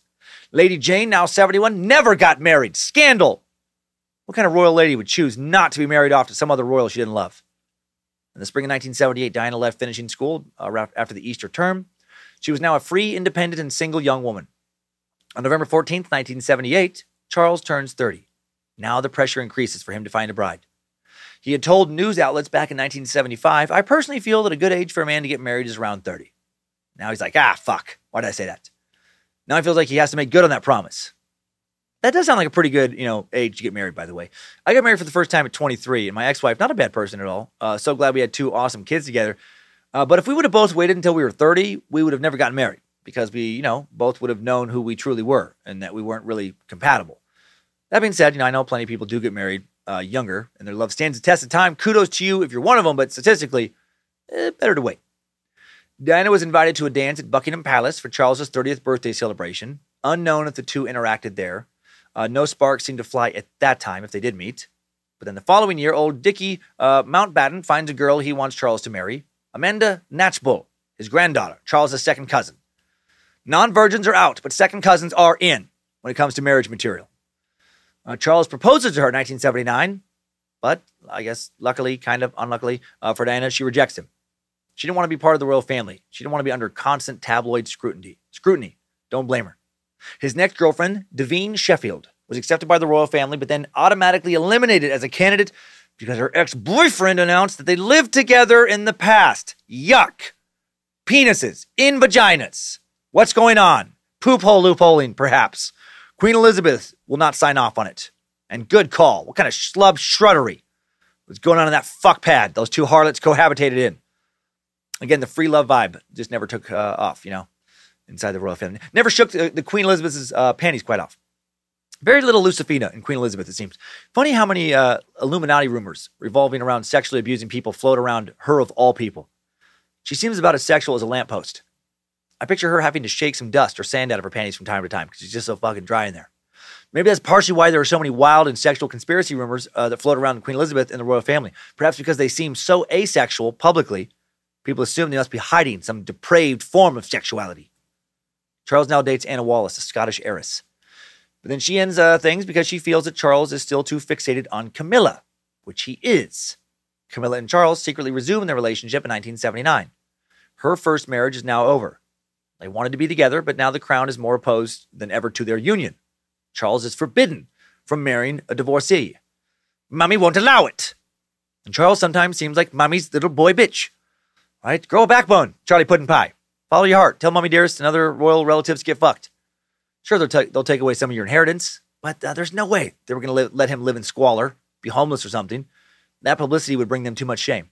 Uh, much of what made it so difficult for Charles to find a wife at this time was the paparazzi. A lot of women just did not want those parasites all over everything they did. One of Charles's ex girlfriends made a public statement that reporters and photographers broke into her house, left notes, followed her everywhere. Sounds terrible. And the women who didn't mind that level of intrusion, Charles, well, he was skeptical of them. He questioned their motivations. Why would they be okay with that? Were they fame hungry? Did they actually like him? Charles constantly worried about girls dating him for all the wrong reasons. In 1976, he said, You see, every time a girl tells me that she loves me, I have to ask myself whether she really loves me or just wants to be queen. And whoever I choose is going to have a jolly hard job, always in my shadow, having to walk a few steps behind me, all that sort of thing.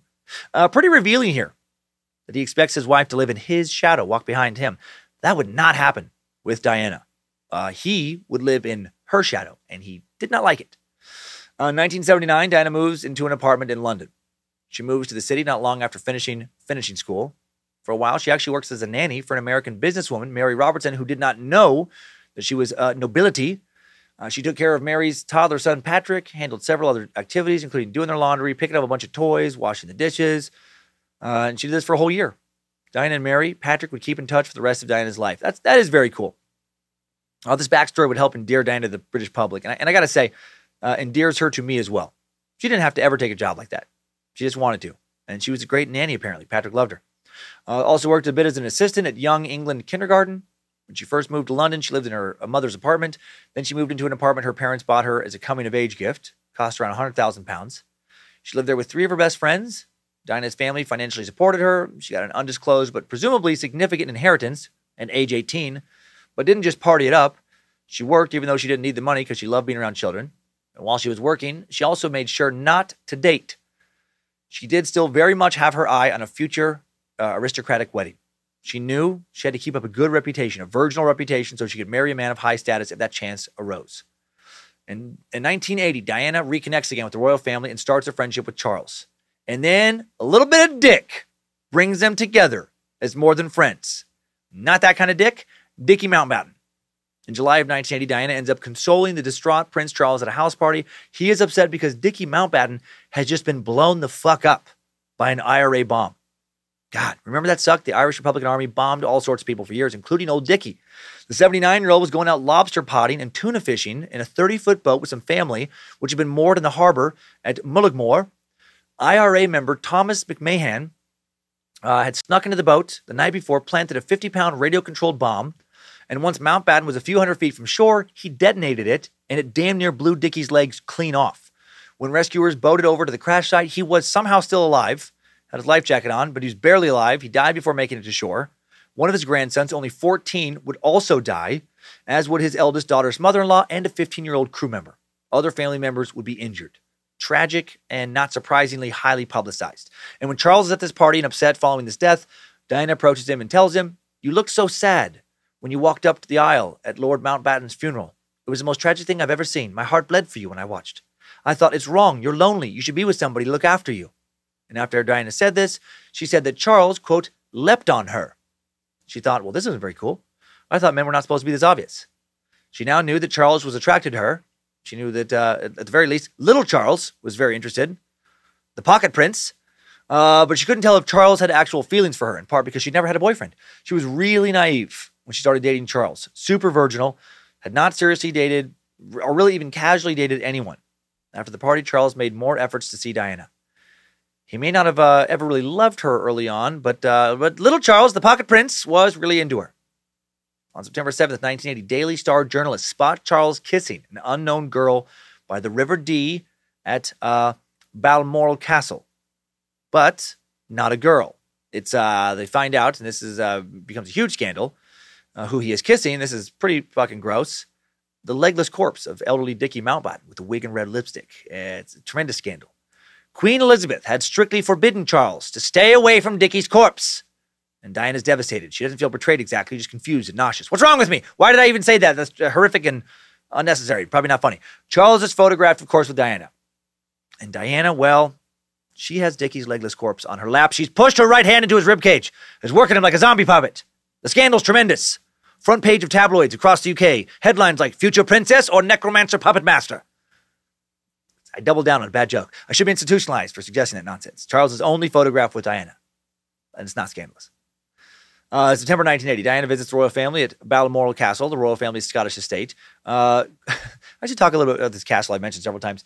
Queen Elizabeth actually privately owns this little dump, right? Like if uh, she get everything taken away, she loses her title, she still has this castle, and this castle sits on roughly 50,000 acres, almost five times the size of Manhattan. No big deal. Roughly 150 different buildings on this estate. It's like its own fucking country. The castle has 52 bedrooms. 52! Can't find a reliable source for square footage, but a 2020 U.S. real estate article uh, placed the value of the castle at roughly $140 million. And that seems very low to me, actually. So, anyway, this hole in the wall, shithole summer home, Charlie teaches Diana how to fish, and they're uh, photographed by the press. Now, people are wondering if she might truly become a, his future bride. She's 19. Because she has close ties to the royal family, Charles assumes she'll understand the pressures, excuse me, of her future role uh, even Camilla approves because she thinks Diana is young and naive and won't interfere in her continuing affair with Charles. Uh, interesting way to look at it. Diana's father and uncle soon publicly vouch for her virginity. Weird. To enhance her chances of royal marriage uh, comes across pretty creepy, and it is. But they did do this because the media was obsessed with speculating about the virginity of anyone Charles would date. So super fucking weird, but it wasn't like it came out of nowhere. You know, it wasn't like some uh, British journalist Earl Spencer, is it true that your daughter Diana may become the future Queen of England? And then he just, you know, blurted out, No one's touched her pussy! No one! Not even Diana! I've kept a close eye on my daughter's hoo ha her entire life. Sometimes I would check on her when she was sleeping just to make sure her hymen was unmolested. I'm, I'm sorry, what were you saying? Wasn't quite like that. It's still creepy that there's that kind of interest in her sex life or lack thereof. Uh, after the river photos, the press started following Diana around her apartment, around the streets of London. She was soon feeling overwhelmed. The royal family strangely refuses to give her any security Maybe they're testing her. Maybe based on last week's celebrity cloning suck, Queen Elizabeth and Prince Philip were just busy. They were out of the office, too busy torturing kids in an Illuminati cloning facility to be bothered with providing her security detail. Uh, England was fascinated by this new couple. Diana seemed shy and sweet. She quickly earned the nickname Shy Di. People seemed to love how humble she seemed. Uh, she would very quickly become more popular than Charles. Charles was intelligent and well educated, but aloof and a bit awkward. Diana was naturally likable in a way he just wasn't. Before he died, Mountbatten had advised Charles that he should choose a suitable and sweet charactered girl, and he felt that Diana was this girl. He also believed Diana's young age would allow him to mold her into the kind of wife he wanted. He, uh, he was not apparently in love with her by any means. Charles believed marriage was the last decision on which I should, what do you say, the last decision on which I want my head to be ruled by my heart. Kind of a sad way to look at it. Uh, his grandparents didn't love each other at first, but grew to love one another after they got married. He hoped the same would happen with Diana. And if it didn't, oh well, well, there's always Camilla. In January of 1981, Daddy Dearest Prince Philip orders Charles to either propose to Diana or let her go to spare her reputation. Charles then confessed to his friend, I'm terrified sometimes of making a promise and then perhaps living to regret it. It's just a matter of taking an unusual plunge into some rather unknown circumstances that inevitably disturbs me, but I expect it will be the right thing in the end. Oh, the call of duty. Before the engagement, Diana actually stayed with the Parker uh, Bowles family for a little bit. They were all part of the same social circle. She noticed how Camilla obsessed over Charles's personal life, told Diana what to do, uh, what not to do in front of the royal family. Way back at this point, Diana wondered if something's still going on between the two. Uh, the day before the engagement, Diana is sent to Clarence House, a royal property and she arrives at this house, or after she arrives there, a candid policeman tells her, I just want you to know this is the last, this is your last night of freedom ever in the rest of your life. So make the most of it. Wow. Diana uh, worried about bad things uh, that could come with continual press coverage, but not enough to later say no to Charles. Interesting that she knew about Camilla. Keep thinking about that. She uh, knew what was going to happen to her personal life and still went through with it. She was so young, had been so sheltered. Uh, February 6, 1981, Charles proposes to Diana with an 18 karat white gold ring topped with a 12 karat Ceylon sapphire surrounded by 14 diamonds. It was given to him by his mother, who no longer, you know, wore it as a clip clip. Come on, gosh dang. Uh, you knew I couldn't stay away from that forever. No, it was made by the crown jewelers Garrard, inspired by a brooch created by for Prince Albert to give to Queen Victoria as a wedding gift. If you want to buy a replica, it's going to set you back about two mil. Uh, but for that price, you, you do get a free engraving and free shipping. Steal of a deal if you have that kind of cash laying around. Diana accepted his proposal without hesitation. Charles later will claim to have felt instant regret. He and Diana had only seen each other a total of 13 times before the engagement. They still didn't really know each other. He worried they wouldn't be able to overcome some of their differences and have a successful, successful marriage. But he still asked. It was what the royal family wanted, good for the image. An odd detail about their early relationship, according to protocol, Diana was not allowed to call Charles by his name until their engagement. She'd always called him Sir. Man, imagine that. Hilarious for me to imagine my wife Lindsay calling me Sir before our engagement, or now, if I can at any point.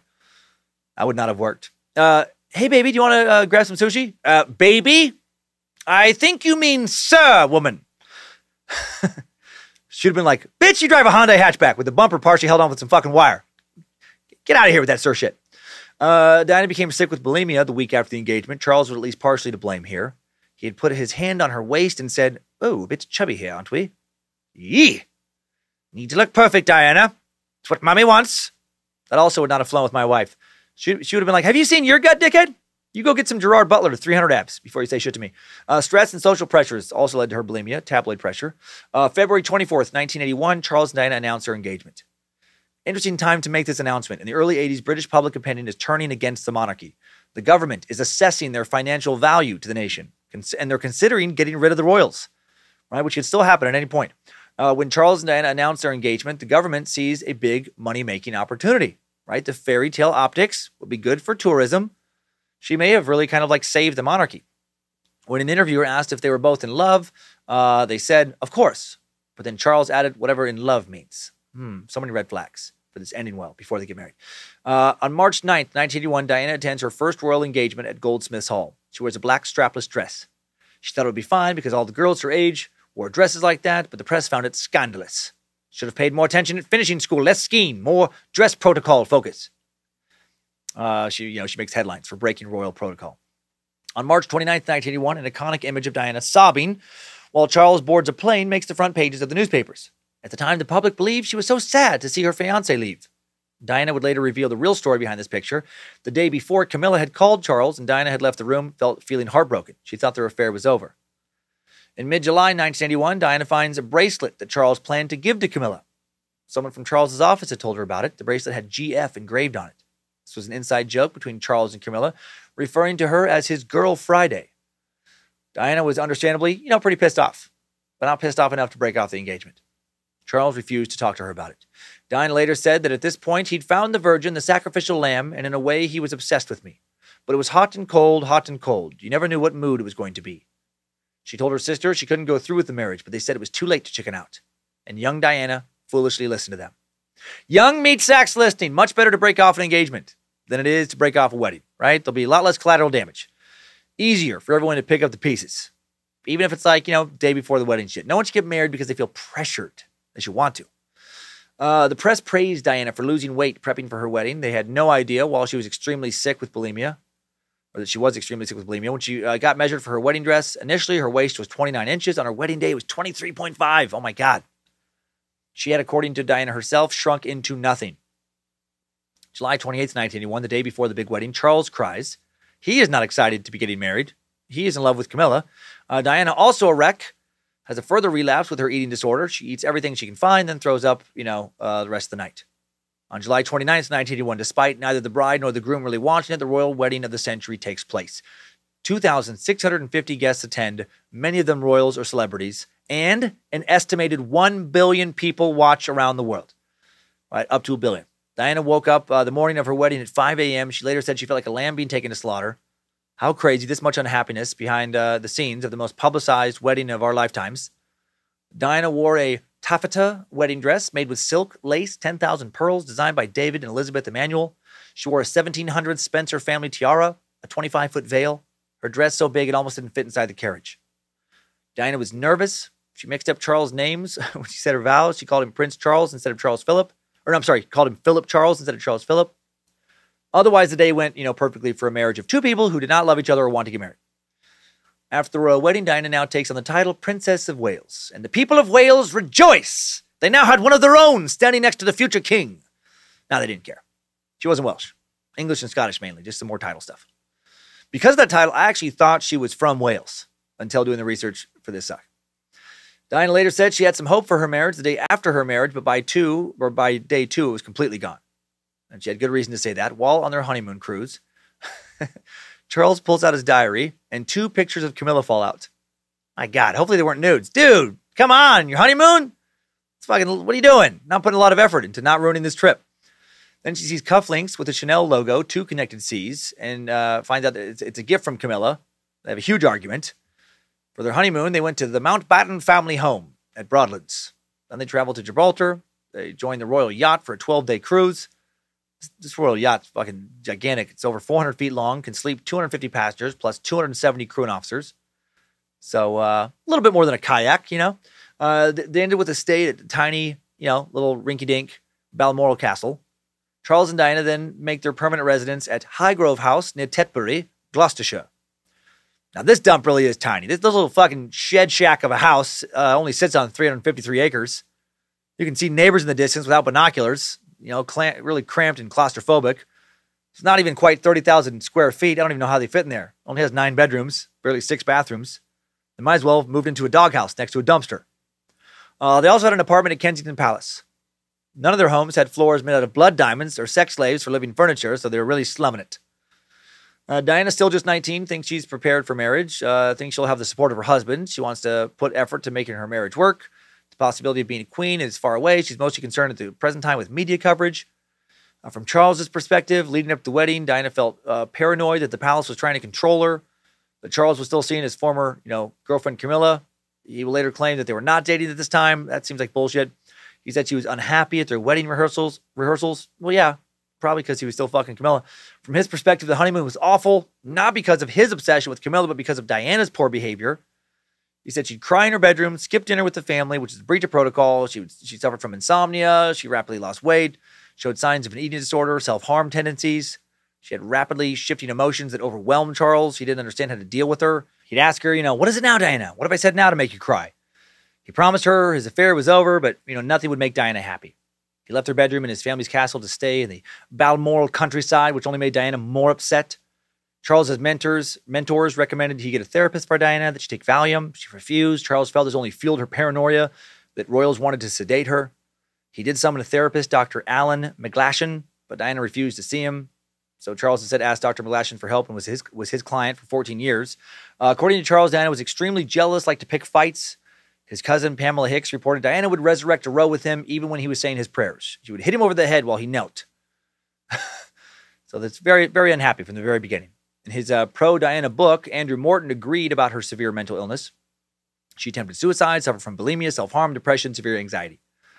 Both parties had emotional inadequacies from their upbringings. Diana felt empty and detached, feared abandonment, had difficulty with lasting relationships. With fr- uh, when friends had previously grown tired of her temper and moods, they'd left her. And she did some pretty dramatic things early on in her relationship with Charles. Once in a rage, she literally threw herself down the stairs, and while she was pregnant.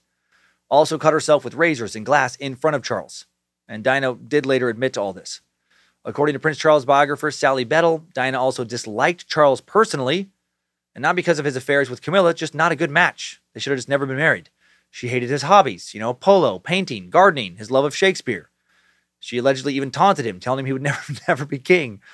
Uh, she tried to put a wedge between him and his friends before the marriage. Allegedly, she even uh, made him get rid of his beloved dog, Harvey. Frequently kicked him out of her bedroom. Um, this Dally, this officer, or I'm sorry, Sally, cl- or claims that uh, Charles even slept on a single bed with only a teddy bear to keep him company for a while. That that seems a little bit fabricated to me here, but who knows? How unbelievably fucking sad if, if this dude in his early 30s really was laying on a single bed in some royal estate, you know, all, all upset, holding on to a teddy bear. Just first, mommy and daddy shipped me away to boarding school. Now Diana Doodoo won't let me sleep in my own bed. You'll never treat me so cruel, will you, Mr. Paddington? You'll always love me and tell me I'm a good boy, won't you? Uh, from October 27th to October 30th, 1981, the couple takes their first tour together, a three day visit to Wales. Charles, not expecting his shy wife to be so popular, and then wherever they go, crowds start to chant, We want Diana. We want Diana. And that probably didn't feel great. We don't want you. We don't care about you. Please get your wife out here. You are boring. Uh, Prince William is conceived in October. This is a godsend for Diana, she says, because it occupies her mind, gives her something to look forward to. Uh, November 1981, the royals announced the pregnancy. Diana suffers from severe morning sickness and has to cancel many of her engagements. She feels embarrassed, like she's letting everybody down. January of 1982, news comes out that Diana fell down the stairs while pregnant, according to Diana. This was a suicide attempt, but at the time, you know, she and the royals uh, just said it was an accident. Uh, What man? What a strange suicide attempt too. Uh, throwing oneself down the stairs. That seems like a bad way to take yourself out. Seems like a great way to just really permanently hurt yourself, but keep living. Clearly, she was not well. Uh, baby William, luckily unharmed. Diana only has minor injuries. What led to the stair incident? Diana said she was crying. Charles refused to listen to her, so she threw herself down the stairs. Charles thought she was exaggerating about all her problems, and she felt no one understood her. Holy royal drama, Batman! I gotta say, these two both seem like children who happen to be of adult age in many of these moments. Uh, June 21st, 1982, Prince William Arthur Philip Louis is born. Diana only 20 at the time. Uh, Charles wanted his children's first names to be Arthur and Albert, but Diana apparently shut that idea down. To the outside world, she appears to be thriving. She's beautiful, graceful, seamlessly adopts her role of Princess of Wales. Uh, she's given, you know, the heir to the throne a son. She's wearing the latest fashions, working for admirable charities, a literal princess. Her life is a commoner's dream, but she's fucking miserable. She and Charles's marriage not going well. She suffers from severe postpartum depression on top of low self-esteem, bulimia, constant bombardment from the paparazzi. She later admits her postpartum depression affects her marriage. She begins self-harming. Her bulimia worsens. She'd binge eat when she had a busy day out in public, then throw up that evening. She says the royal family used her eating disorder to label her as unstable instead of trying to understand the disorder. Instead of expressing concern, they would just accuse her of, quote, wasting food. and if they really did that, that's fucking cold blooded. Is Diana, is Diana okay? I heard her throwing up in the bathroom. She's fine. She's just in there wasting food again. Never have I known anyone who loved to waste food like Lady Love Handles. In March 1983, Diana, Charles, and William take a tour of Australia and New Zealand. Adoring crowds wait for Diana. Charles' jealousy grows. Uh, on September 15th, 1984, Prince Henry Charles Albert David is born. Today we call him Prince Harry. Diana claims she knew the entire time she was pregnant she was having a boy, but did not tell Charles he wanted a girl. And when Harry was born, he was disappointed. When Diana saw his reaction, she said, Something inside me closed off. Our marriage, the whole thing went down the drain. Seems like it had already gone down the drain. Uh, 1985, Diana starts an affair with her bodyguard, Barry Mannakee. Maybe. Some sources say she may have had an affair. Many others say she just let the tip in. Uh, no, the others seem certain she did. The full extent of their affair is still debated. Uh, Diana did admit to falling in love with him. The two had emotional in- intimacy. Uh, she later described him as the greatest love of my life. And I'm going to say this is a balls deep kind of love. Some emotion, some emotional love, and some hope you're having fun with Camilla Charles. Barry's currently knocking my back out, loophole in my poof hole kind of love. After Diana spoke of the love she had for Barry, uh, he was immediately transferred away from her security detail. And He died two years later at the age of 39 in a traffic accident. Conspiracies begin to swirl about the royal family having him killed. An inquest finds this to be false, but then, of course, you know, rumors swirl of cover up. And then, you know, when Diana later dies, this will be combined uh, with his death earlier. You know, the royal family's killing everybody in car crashes. I wonder if they wanted him dead, why wait until two years after his affair is exposed? Uh, 1986, if he wasn't fucking around already with, uh, which I think he was, Charles is now for sure fucking around with Camilla again. And this stresses Diana out. Weird that an affair that just won't go away uh, will do that. Uh, on May 6, 1986, Diana faints at the Expo Exposition or Expo Ex, Expo exhibition on her Canadian tour with Charles. She's tired, hadn't eaten in several days. Charles berates her for fainting in public, asks her why she couldn't have fainted behind a closed door. Why do you have to faint in front of everyone? Uh, Diana asked if she could stay behind and rest. Charles insists uh, that she needs to get back out there and attend their engagements. Right, they're fighting all the time now. A few months later, November 1986, Diana starts an affair with Captain James Hewitt, a cavalry officer, who was her former riding instructor. Uh huh. Mm-hmm. Not surprised. One day, teaching her how to ride a horse.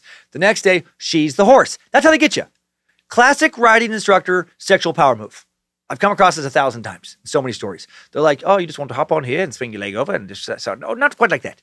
You just want to swing your leg over and then with your knees gently but firmly press on the sides a bit. Ah, not quite like here. Uh, just just let me show you. Pretend to be the mare. Just get down on all fours. Yes, just like that. Then I hop on your back here and I press my legs in gently around your hips then maybe we're riding and we're riding and I'm just kind of rubbing back and forth. And well, I, this, I think this would work better if we were both naked and then we just ride. And the next thing you know, you're getting barebacked. And that's how, if you're not careful, you can show up at a lesson hoping to learn how to improve your writing skills and you can leave pregnant. I've, I, uh, fucking, I've seen it a thousand times. Uh, in all seriousness, their affair lasted until 1991. Uh, in October 1987, newspapers began publishing articles speculating that Charles and Diana have spent over 30 days apart and are not happily married at all. February, 1989, Diana finally directly confronts Camilla. It happens at a house party. She tells her, I obviously am in the way and it must be hell for both of you, but I do know what is going on. Don't treat me like an idiot. This also makes it to the tabloids. Apparently, anyone who has any dirt on them now is just immediately selling it to the tabloids. According to Diana, after this confrontation, people on her husband's side try to convince Charles to put her in a home, as in have her committed. But quietly, discreetly, come up with a cover story. Uh, Diana, one time public image asset, has become a liability, an embarrassment to the royal family for not keeping quiet on her husband's affair, for having affairs of her own. Shit's getting messy now. Queen Mummy, not pleased. As the 90s began the following year, rumors of Queen Victoria syndrome began to run rampant. QVS, little used term, for when the British population tires of an aging monarch and a parasitic royal family that seems out of touch with reality. Things not going well for the royals right now. A poll taken in 1990 finds that roughly half the population supports the idea of abdication. No more royals. The public breakdown of Charles and Diana's marriage is well known, and all the scandals and gossip around it, and the insight it gives into how the royal family conducts their business has many British British citizens thinking something along the lines of, "Oh, fuck off, enough's enough." Enough's enough. In the spring of 1991, Diana sits down at Kensington Palace now for a series of secret interviews. They're recorded by Diana's friend, Dr. James Colthurst, and will be the basis of English journalist Andrew Morton's explosive biography on Diana, released the next year, as well as a 2017 documentary about the interview tapes. More on that in just a second. 1992, not a good year for Her Majesty. The drama queen, actual queen, Elizabeth, calls 1992 her horrible year because of some of the following events. February 11th, Diana is photographed alone in front of Taj Mahal. The building was constructed as a symbol of love from a man to his wife, and the image of Diana alone is framed by the media as symbolic of her broken marriage. This pic gets a lot of play, shows up on a lot of tabloids, becomes a pretty iconic photo.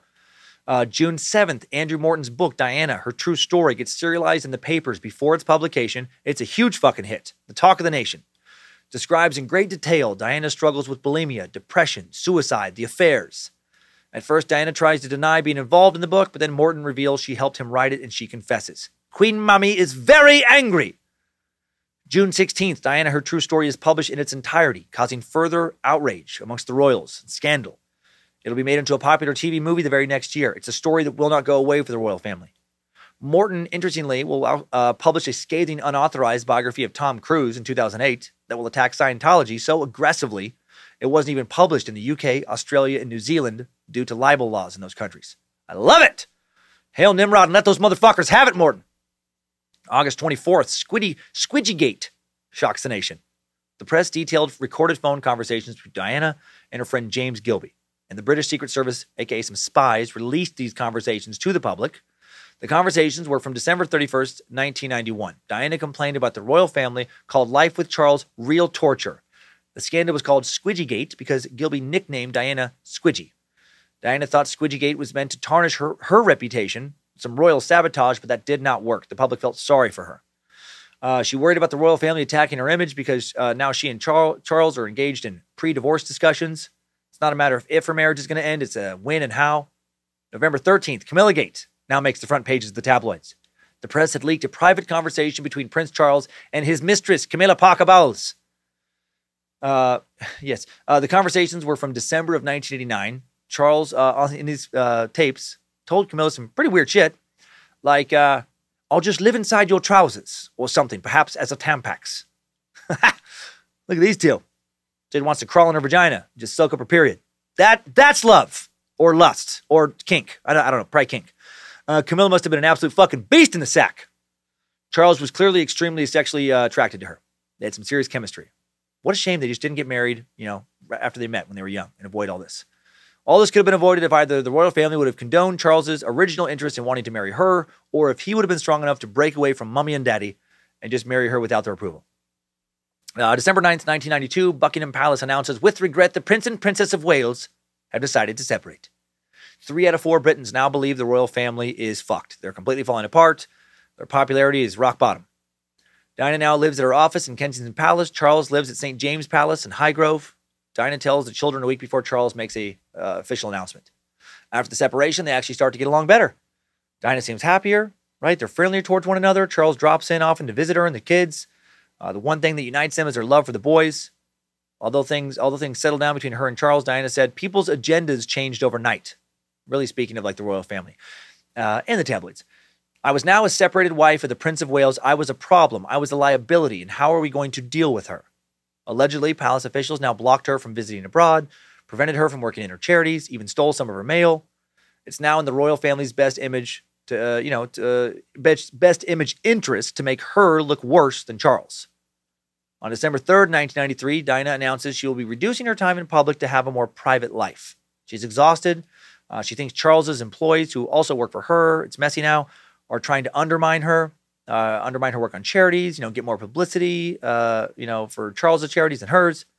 June 29th, 1994, more scandal. Prince Charles admits to being unfaithful in a, in a TV interview. He doesn't say the woman's Camilla, but everyone knows who he's talking about.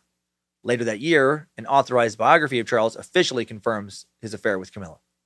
At some point in 1995, Diana meets a heart surgeon named uh, Khan and begins an affair with him. Oh, meets old Hot Nuts. Hot Nuts Khan.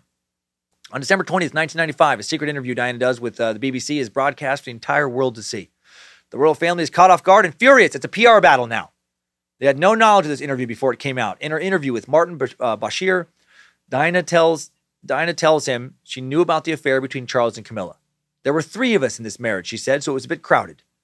She's also open about her own affair with James Hewitt. Yes, I adored him. Yes, I was in love with him, but I was very let down, she says. She also hints in the interview that Charles is unfit to take the throne. She's honest about her mental illness, described her bulimia as a secret disease you inflicted upon yourself because your self esteem is at low ebb and you don't think you're worthy or valuable. It's a repetitive pattern which is very destructive to yourself. The Queen is so fucking mad. A common phrase she uttered in response to private family business was never complain, never explain. That was her credo on that kind of stuff. And uh, Diana obviously broke that rule with her BBC interview. Diana agreed to take uh, half the responsibility for her failed marriage, but no more than that in this interview. Uh, her aides later said she regretted doing the interview. She only did it because she wanted to take some control of the media narrative surrounding her separation and not let the royal family dictate that narrative. And that would suck to have your divorce divorce play out in such an extremely public way. To know that if anyone recognizes you, they know a bunch of dirty laundry about you that you'd rather keep private. Uh, July 15th, 1996, Charles and Diana officially filed for divorce after months of intense negotiations about child custody and, I love this, royal titles. Mammy, don't let her be the Princess of Wales. I don't want her to have that title. I want to give that to Camilla, Mammy. Uh, August 28th, 1996, the divorce is finalized. Diana will remain the Princess of Wales. She keeps that title. Uh, also keeps her apartments at Kensington Palace. Uh, she does agree to give up her title of Her Royal Highness and future claims to the throne. She resigned most of her charities and patronages, but uh, remained a patron of her few favorite uh, charities like Leprosy Mission, National AIDS Trust, Hospital for Sick Children. Also continues her humanitarian efforts, particularly to raise awareness for uh, about landmines in Angola. Now free from royal constraints, she can do what she wants. Uh, she wants William and Henry to have an understanding of people's emotions, their insecurities, people's distress, and their hopes and dreams.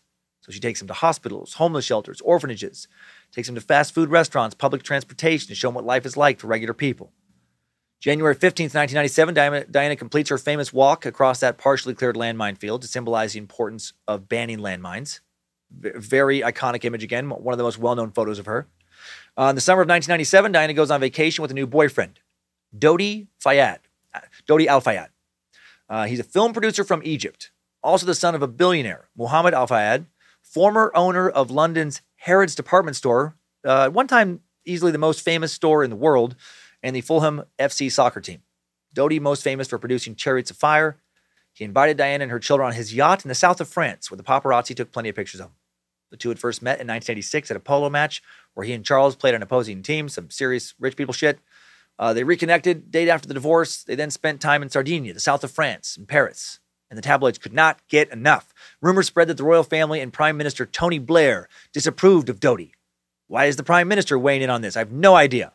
I guess just because of British obsession with the royal family. Uh, in late August 1997, Diana is back on Dodi's yacht, the paparazzi photo- uh, photographing them kissing. I bet that dude had a sweet fucking yacht. I couldn't find out the specs on it. Can you imagine how having a, a billionaire dad, being a film producer, and having a big ass yacht, how much that would help your dating life if you're single? Right? A lot of big yachts have tel- helipads. I bet his had a helipad. Holy shit.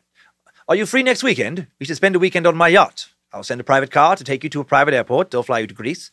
Then my helicopter can take you straight out to my yacht. How do you like your caviar? Lifestyles of the rich and famous type shit. Reminds me of watching that show as a kid.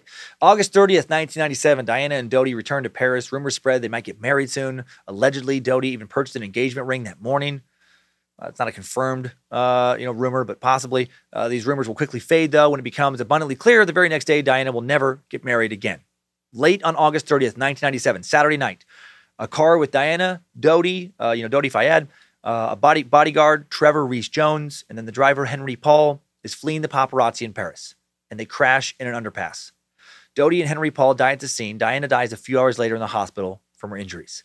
Diana's bodyguard, Trevor Rees Jones, the only survivor, he suffered uh, severe brain and chest injuries. Every bone in his face was broken, a lot of reconstructive surgery. He spent 10 days in a coma.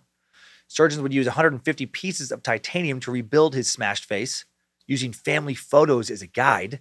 After the crash, he ends up bouncing around in jobs, uh, you know, job to job after recovering from his injuries. Eventually, gets back into security. He currently works as the global head of security for vaccine giant AstraZeneca. The tinfoil hat crowd has taken notice of that. Uh, the Illuminati moved him into another one of their companies after he helped assassinate Lady Di. Conspiracies regarding his involvement uh, in her death have never totally gone away. Uh, so tragic, Diana would have been going home the next day to see her children. The paparazzi chased the car she was in as they headed out to dinner. Uh, you know, because of this, Dodi canceled their original dinner plans, said they'll just eat dinner at the Ritz Hotel now, then drive to his apartment in Paris. Dodi's plan to keep everything private was to have two cars act as decoys, leaving the Ritz from the front entrance, then they would leave from the rear. So he calls in Henry Paul, who was off duty at the time and had been drinking. Of course, yet it was a Saturday night. Dodi and Diana leave the Ritz at 12:18 a.m. Sunday morning. The paparazzi finds them, starts chasing their car. As they approach the uh, uh, Place de Alma underpass, Henry Paul clips another car, loses control of the vehicle, then hits the 13th pillar with no time to brake. Dodi and Henry Paul die instantly. Diana's bodyguard, as I state, severely injured. Diana is slumped over in the back seat, taken to the hospital where she'll die from cardiac arrest. Also, her pulmonary vein was torn. Would have taken a miracle for those doctors to save her. She died at a nearby hospital after two hours of emergency surgery, pronounced dead at 4 a.m. local time. No one in the car wearing seatbelts. An inquest later ruled that they might have all survived. Likely, most of them would have survived if they'd been wearing seatbelts. I'm not sure how conspiracy theorists address the seatbelt situation here, right? That should have helped quell assassination rumors. They died in large part from just not buckling up. That'd be a weird thing for an assassin to factor into his assassination plans, to count on them not wearing their seatbelts when they wrecked the car. And the one guy who lived, he also wasn't wearing a seatbelt. Um, you know, it's but it's, so it's not like you know he would have just reached over and jerked the wheel to wreck the car like some have claimed. You know, because he's he's gonna probably die too. Uh, 4:41 a.m. The Press Association issues a news flash: Diana, Princess of Wales, has died, according to British sources. BBC newscaster Martyn Lewis announces it at 5 a.m. Regular programming in England is suspended as coverage continues. The royal family gets the news while they're in Scotland at that hole in the wall dump, right? Balmoral Castle. Within a few hours, Charles flies to Paris to travel with Diana's body back to England. He returns to Scotland to be with his children then. William is 15, Henry's uh, 12, or Harry's 12. Charles's main priority is to protect them from the paparazzi now. He asks the media to respect his children's privacy, let them have a normal school life. The public doesn't like the lack of emotion from the royal family in the days following Diana's death. All of Britain is devastated, and they wait for the palace to release a statement. Uh, they want the Queen to lead Britain in mourning. Her normal style of being reserved and hands off does not play well here, and she doesn't really step forward and do this. Prime Minister Tony Blair speaks before she does, telling the country, I feel like everyone else in this country today, utterly, devast- utterly devastated. She was a wonderful and a warm human being. Through her own, though her own life was often sadly touched by tragedy, she touched the lives of so many others in Britain and throughout the world with joy and comfort. She was the people's princess, and that's how she will stay, how she will remain in our hearts and in our memories forever. And that, yeah, it's a very good speech.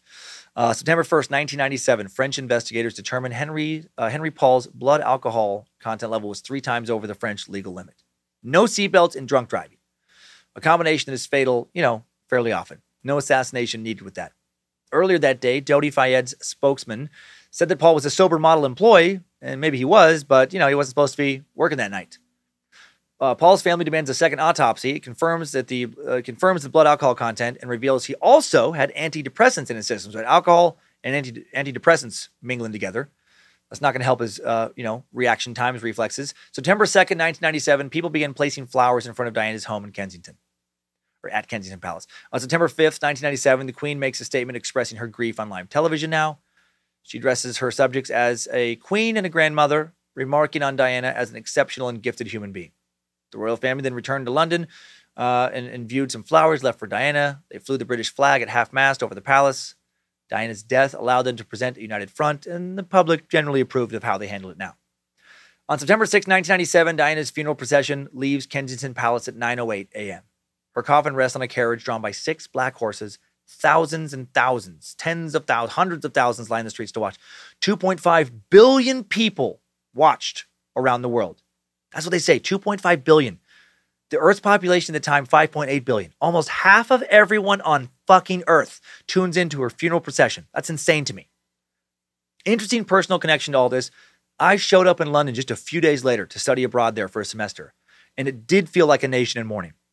I mean, people weren't crying in the street, but there were flowers all over, you know, various landmarks. Because I was like, what the hell is with all these flowers? I remember I, I, I was so oblivious in my own little bubble. I was like, what's going on with all these flowers? And someone's like, well, yeah, because Lady died. And I was like, okay. I didn't understand. I didn't understand like truly how popular she was. Very somber overall atmosphere. Uh, the closest thing I, I've ever experienced in the U.S. to this, as far as mass grief, was the days following 9/11. I imagine the national atmosphere in the days following Kennedy's assassination similar to what it was like in England in early September 1967 or 1997. On top of the flowers of her on her coffin was a white envelope with the word mummy written on it. So fucking sad. Her sons put it there. Much to the public's surprise, William and Harry walked behind the casket with Charles, Earl Spencer, Prince Philip, and some representatives of Diana's charities. Prince Philip, the boy's grandfather, had told him they might regret it later if they chose not to walk with their mother. And that's a good call, I think. At the funeral, the Queen bowed to pay tribute. People were surprised. Historian Jane Ridley said the Queen bows to nobody ever. And yet, as the funeral procession rode past Buckingham Palace, the Queen was seen out front making a bow to her daughter in law. How magnanimous of her! She's not a bad person. She bowed. Everyone saw it. Long live the Queen! Hip hip hooray! She can bow. Uh, at the funeral, Diana's brother gives a touching speech about her. Elton John performs a special rendition of his song Candle in the Wind, changes the lyrics. It was originally about Marilyn Monroe. Uh, you know, now changed it to be fitting for Diana. The opening lyrics are Goodbye, England's Rose. May you ever grow in our hearts. You were the grace that placed itself where lives were torn apart. You called out to our country and you whispered to those in pain. Now you belong to heaven and the stars spell out your name. This recording went on to become the most successful pop single in history, sold over 30 million copies. Uh, Diana was buried at a gravesite on a small island at her family's estate. And then conspiracies began to swirl and swirl. Numerous official inquiries would determine that the crash, uh, you know, was because of drunk driving and no seatbelts, and because of evading the paparazzi, not because of some crazy conspiracy. Eight years later, April 9th, 2005, Prince Charles and Camilla finally marry in a quiet ceremony. She takes on the title of Duchess of Cornwall, and surprisingly, the public accepts her. I think they understood how fucking complicated and just fucked up the whole situation was. How Charles never wanted to marry Diana in the first place, not really. How Queen Elizabeth had been a thorn in the side of Diana, Charles, and Camilla. All right. Let's hop out of the timeline now and explore some conspiracies about what really happened. Good job, soldier. You made it back. Barely.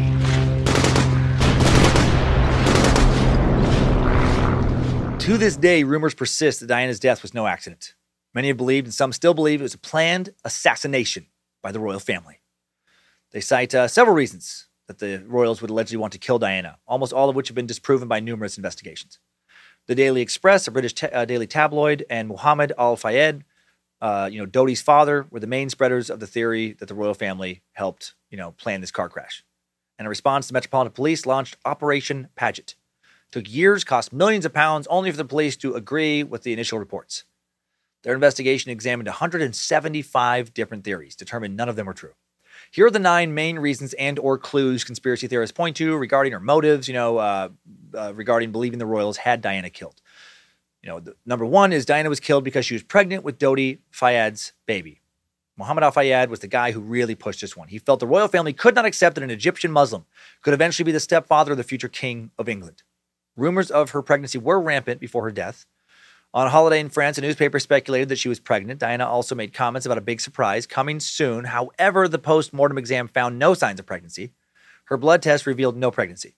Diana's close friends went on record to say that she had never mentioned anything about this to them. Never told them she thought she even might be pregnant. So, doubtful. Uh, Diana, uh, number two, Diana did believe at one point she was going to be killed by the establishment. So, this fuels conspiracy rumors, right? Of course. Paul Burrell, her former butler, disclosed a letter that Diana gave him for safekeeping that said, I fear my husband is going to kill me in an automobile accident. So that doesn't look good.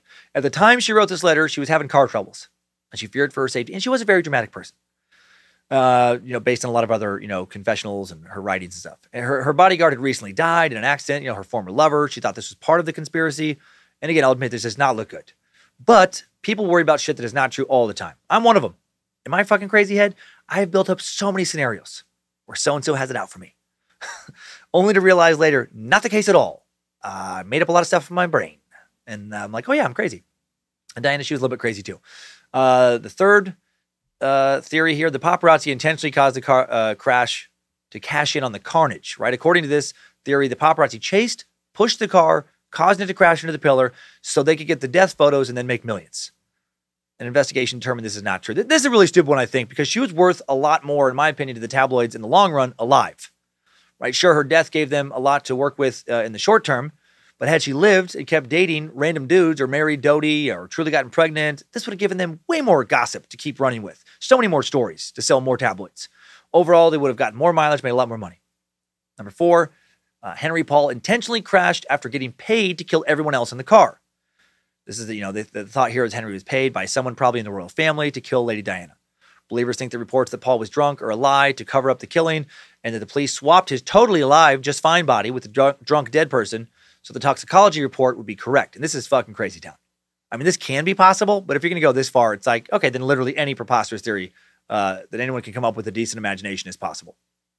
Uh, theory number five my dad was hiding under the front seat somehow. And at the right moment, he grabbed Henry Paul's legs, caused them to swerve, uh, swerve the car, crash after being paid by Queen Elizabeth to kill Dodi and Diana. Then my dad hid in the wreckage until the police placed the car in storage, snuck out, and then he casually flew back to Idaho. And I'll admit this one is very hard to believe at first. However, when I texted my dad and I asked him, I'm like, where were you exactly on the evening of August 30th, going into early, you know, the early morning of August 31st, 1997? My dad texted back, what the hell are you talking about? Is this that stupid joke of yours about me being a serial killer? And I find that interesting that he would immediately jump to being a killer, to being a murderer. When I just wanted to know where the fuck he was, you know? That feels like the reaction of a very guilty person in my mind. Now, if I didn't have a lot of concerns over his ability to hide under the seat, I would say this happened. Moving on. Don't even worry about this one if you're a new listener. Uh, theory number six Diana's car had been tampered with. Very doubtful, right? This was her concern earlier that she had, uh, you know, written about. Eyewitnesses did not report seeing any car problems prior to the crash at all. You know, the car seemed to be driving just fine before it crashed. Uh, number seven, a bright flash blinded Henry Paul, caused the crash. This is maybe the dumbest one to me. We talked about this one last week. This is one of the ones that uh, that alleged clone victim Donnie Marshall, his crazy ass pointed to with some Illuminati assassination claims. And I went and I went over last week how fucking stupid of an assassination is Tempest. I mean, I don't think shining a bright light into professional driver's eyes is just going to make them panic and just like you know veer off course. That's that's out of some like poorly written action movie. And also, other people would have seen this light, and no one you know reported that they're like, oh my god, this crazy ass light is coming to the tunnel, blinding people. Uh, Diana's medical care is sabotaged EMTs are paid off by the crown, is the next theory. That these shady doctors allowed Diana to die by not treating her po- properly. Uh, this conspiracy started to catch on because French EMS and British EMS operate differently. The French focus on treating at the scene, while the British want to get people to the hospital as soon as possible. The investigators who wrote the report for Op- Operation Paget argued that a conspiracy like this would require a substantial number of doctors and caregivers to all break their oaths and be in on it. Some have speculated that it's possible that if she was taken sooner to the hospital, she might have survived, but doctors who were actually there, those who have studied her autopsy reports, say mm, doubtful, probably not. And then there's theory nine. Dodi and Diana were never going out to dinner that night. Diana had stolen Queen Elizabeth's clit clip diamond, and she and Dodi were in the process of selling it to the KGB. The KGB wanted it because the 15 karat diamond was actually a key used to open a mystical portal that led to Queen Elizabeth's underground Illuminati cloning center, the one we talked about last week, the one where she stabbed Donnie Marshall, or maybe his clone, to write a new, you know, hit pop song. I may, I okay, I may, I made, maybe I made that one up. I just, I just wanted to try and snake the click clip uh, nonsense into there one more time. I think I'm done now. I'm done now. I think. Many of these theories have no evidence, of course, to back them up, but still, a lot of people believe that Diana knew secrets about the royal family and they plotted to kill her because she was going to tell or they just couldn't stand that she was going to be married to someone who wasn't white. I don't know. How many times have we heard stuff like this, right? Especially the know too much angle. They knew too much, so they had to be killed. I just think if that was true, wouldn't she have been killed earlier and more effectively? Poisoned in her sleep, maybe? I don't know. Made it, made it make it look like a heart attack or something. Why wait for her to start dating someone else, then just let them date for a while, then give the, her time to share secrets with him and secrets he could have shared with others? Like, if they're so worried about these secrets, wouldn't they want to kill her as soon as possible? It just makes no sense. The royal family, of course, denies having anything to do with her death. Other theories claim that the CIA, M15, M16, uh, the governments of other countries all wanted her dead for her work with removing landmines. But if that's true, that really backfired. Right? She made that famous walk through an Angolan minefield in January of 1997. She dies in August, and then a few months later, the United Nations bans bans landmines. And since the ban, uh, 164 nations have signed on.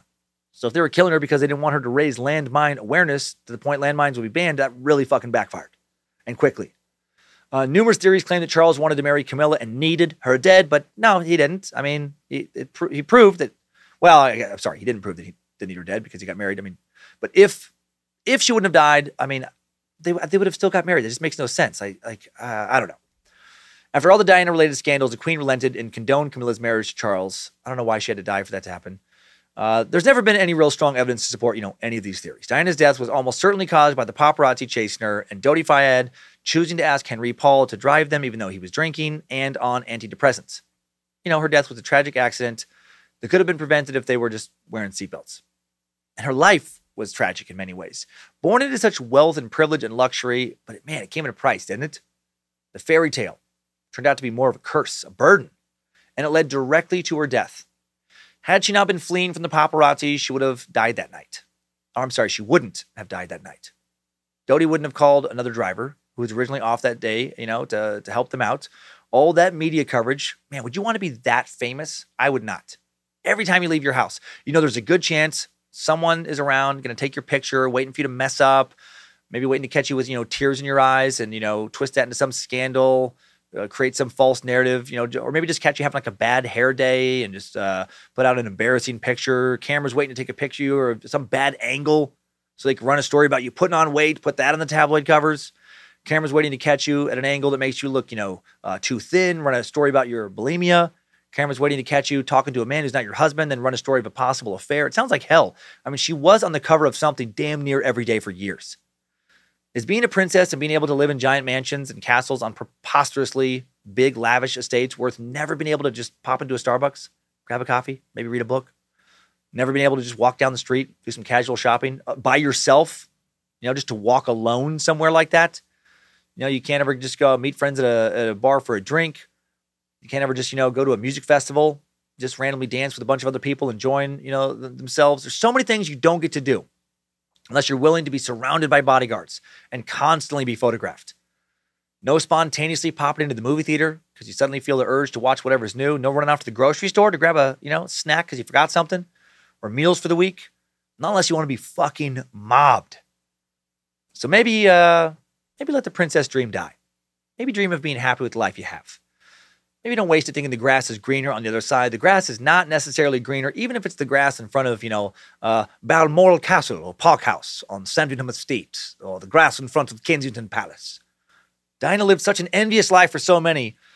You know, that's really why people all over, uh, you know, read those tabloid stories about her. So aspirational, such a fantasy to live the life of a real princess, a beautiful princess, but she was fucking miserable. Sometimes dreams are best just left being dreams, aren't they? Let's head over to today's top five takeaways. Time Suck Top 5 Takeaways.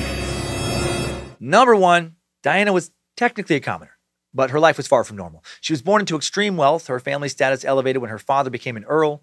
Diana grew up playing with Charles's, you know, siblings, and her family had royal ties dating back several centuries. She was the perfect candidate to be a royal bride. Number two, Diana was unhappy from the beginning of her relationship with Charles, and it only got worse as time went on. The stress of being in the spotlight triggered Diana into developing severe bulimia. She suffered from postpartum depression, anxiety, self harm, even attempted to commit suicide by throwing herself down the stairs. Number three, both Diana and Charles had affairs during their marriage. Charles's affair with Camilla has been widely covered and talked about, but Diana also had an affair with her riding instructor, Captain James Hewitt, and her bodyguard, Barry Mannakee. Their affair lasted five years. Diana was in love with him. She and Charles both accepted equal responsibility for the failure of their marriage. Number four, there are many conspiracy theories about the car crash that killed Diana, but almost all of them have zero evidence to support them. Eliminating a pregnancy the royals didn't want is the main one, but there are over 100 conspiracy theory variations surrounding Diana's death. In reality, the car crash she died from was almost certainly a tragic accident brought about by a bad combination of paparazzi harassment, drunk driving, drunk driving and not wearing a seatbelt. And maybe my dad. Number five, new info. Ever since Prince Harry and Meghan Markle's wedding on May 19th, 2018, people have noticed Meghan's uh, similarities to Diana. Specifically, her tell all interview with Oprah has been compared to Diana's 1995 BBC interview. In her Oprah interview, uh, Meghan tells uh, details how the royal family mistreated her, and even makes allegations of racism directed at herself and her son Archie. From the way she acts in public to her rule breaking and willingness to be honest about the realities of getting involved with the royal, uh, Meghan is eerily similar to Diana. But unlike Diana, she took her possible future king and they got the fuck out of that tabloid hell. With attention on them waning a bit more as time goes on, I hope they are so, so glad they did get out. Time Suck Top 5 Takeaways. The tale of Princess Diana has been sucked. Fun excursion into a new kind of story, for me at least. I hope you enjoyed it too. Uh, I am, I am, I had a lot of thoughts about the Royals, and I was like, I feel like th- th- they don't really have a lot of power. Uh, not so sure about these things, and it was good to kind of confirm some things and learn some new things. Uh, thank you to the Bad Magic Productions team for all the help in making Time Suck this week and every week. Queen of Bad Magic, Lindsay Cummins, Reverend Dr. Joe Paisley, Olivia Lee for doing all the initial digging into this week's research, uh, Bidlixer for continuing to refine the Time Suck app, Logan Art Warlock Keith running badmagicmerch.com, uh, the visual artist for all things Bad Magic, our, our creative director here, uh, working on our socials, uh, socials along with Liz the Enchantress Hernandez. Liz runs our Cult of the Curious Facebook private page, currently Cult of the Curious too, along with her wonderful All Seeing Eyes moderators. Uh, thank you for helping curate an awesome online community. Dear Meat Sack Liston. Thanks also to Beefsteak and the Mod Squad running Discord. You can link to the Discord group through the TimeSuck app. Uh, next week, the Space Lizards have spoken, and they have voted in the topic of Robin Williams. Back to back bio sucks. And neither one of them were murderers. Have we lost our way? No. The suck has always bounced around. We'll, we'll be back to darkness the week after that. Serial killer will, serial killer will be coming up next. But the, but first, our first stand-up comic, other than me. Uh, what a story Robin Williams' life is. He spent 36 years in showbiz, made over 100 movies. During that time, he won damn near every award he could win. He came to us as an alien. Mork and Mindy left as a true icon. Uh, he brought so much joy to so many. He was uh, also accused of being a joke thief by a number of comics. And like so many of his era, drug, uh, drugs and alcohol would become a problem, including taking the life of his friend, SNL comedian John Belushi, just hours after they partied together.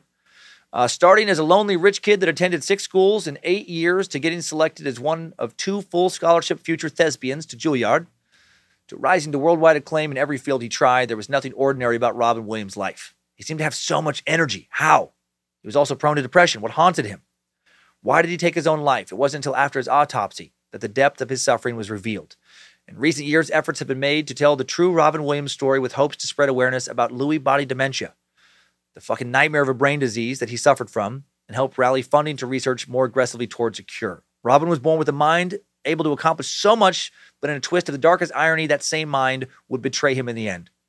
Robin's story is one to be celebrated, and celebrate we will while also digging into some dirt next Monday on Timesuck.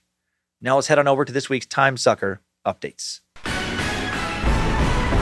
Updates? Get your time sucker updates. Love this first update. Concern and then comedy. Coming in from Wood Lovin' Sack. Bo Morin. Bo writes Hi, Dan and the Suck team. I just became a space lizard and an Annabelle. I've been listening to both podcasts for several months now, and to be honest, I was pretty hesitant to give you a chance. I emailed back and forth with Lindsay about this for a second after I fell in love with STD, but I think it's worth stating again. I was pretty skeptical that as a trans person, your podcast would be a good space for me. Luckily, my love for ghost stories outweighed my fear, and I finally gave STD a shot. I was truly impressed by the bias awareness that you display and by the balance of your perspective, and pretty much haven't stopped recommending STD and Time Suck ever since. Anyways, I figured now is a good time to start throwing some money your way for a couple reasons. One, podcasts are my primary form of entertainment and honestly information, so it's worth paying creators for their work and research. And two, at least partially thanks to the example you uh, lead and the examples of a lot of other suckers who have written in, I'm gearing up for a career change. I've been a hobby woodworker for a couple years and recently enrolled in carpentry construction courses to pursue it as a career that might make me happier than my current desk job. So, you know, I might not have extra money to throw at a podcast for much longer, but hopefully I'll be a lot happier. Thanks for everything, Bo.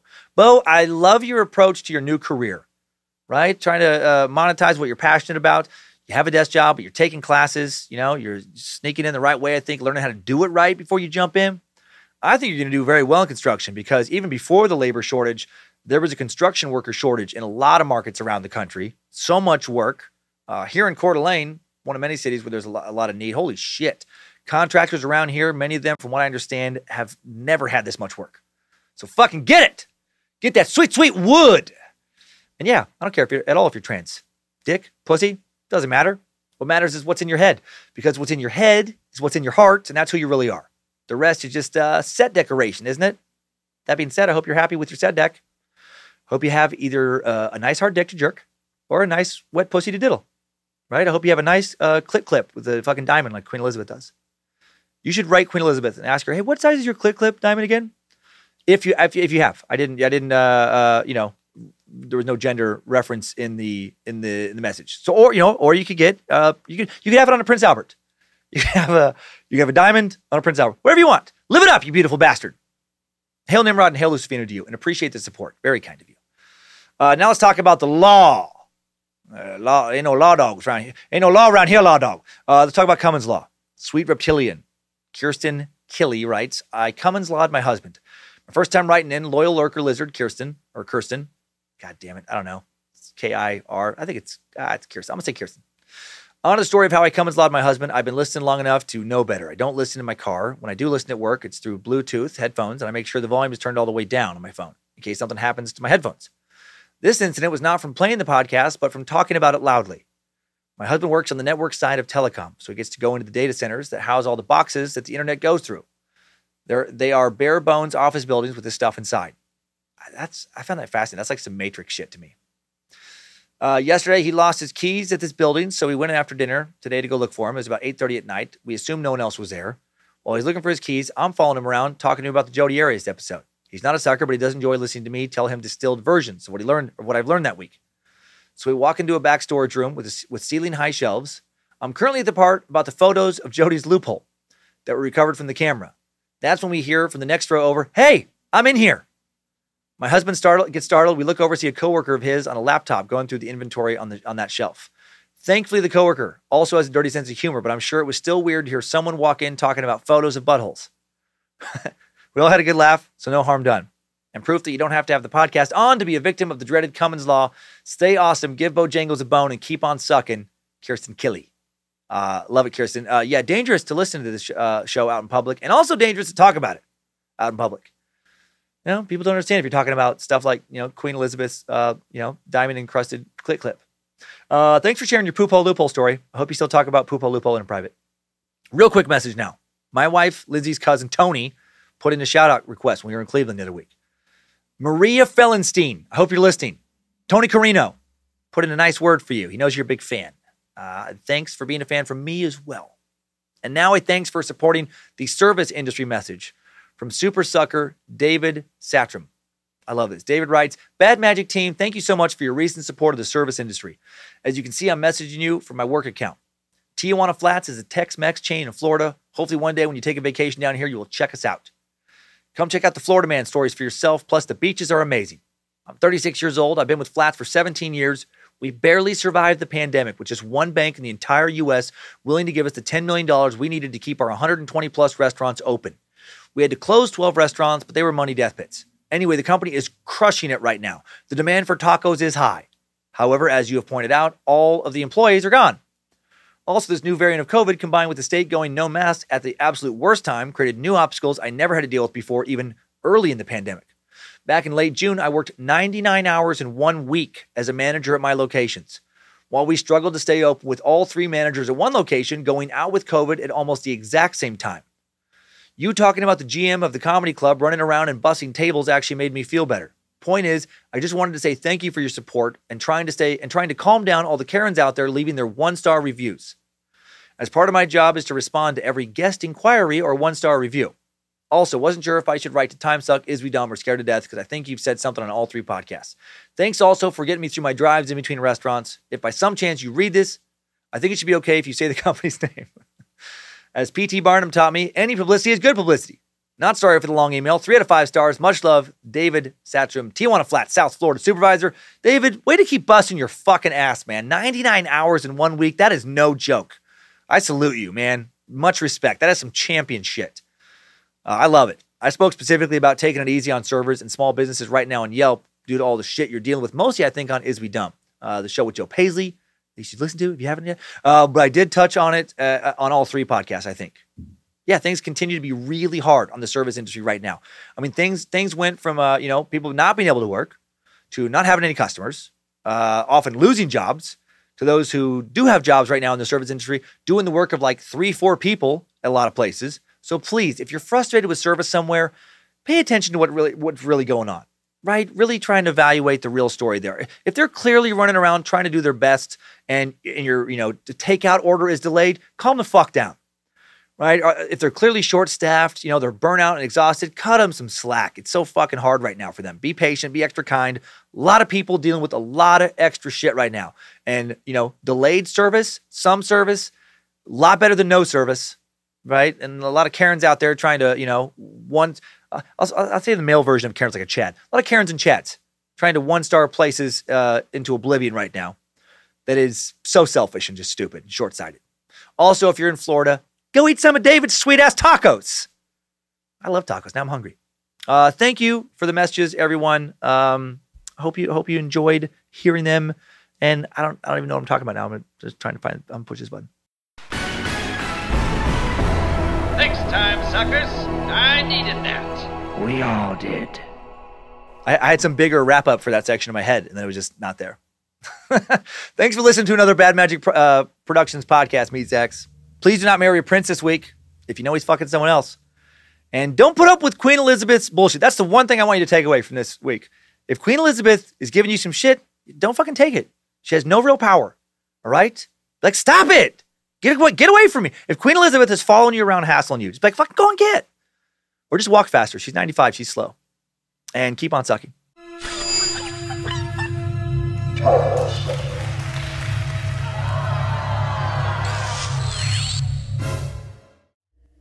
Bad Magic Productions.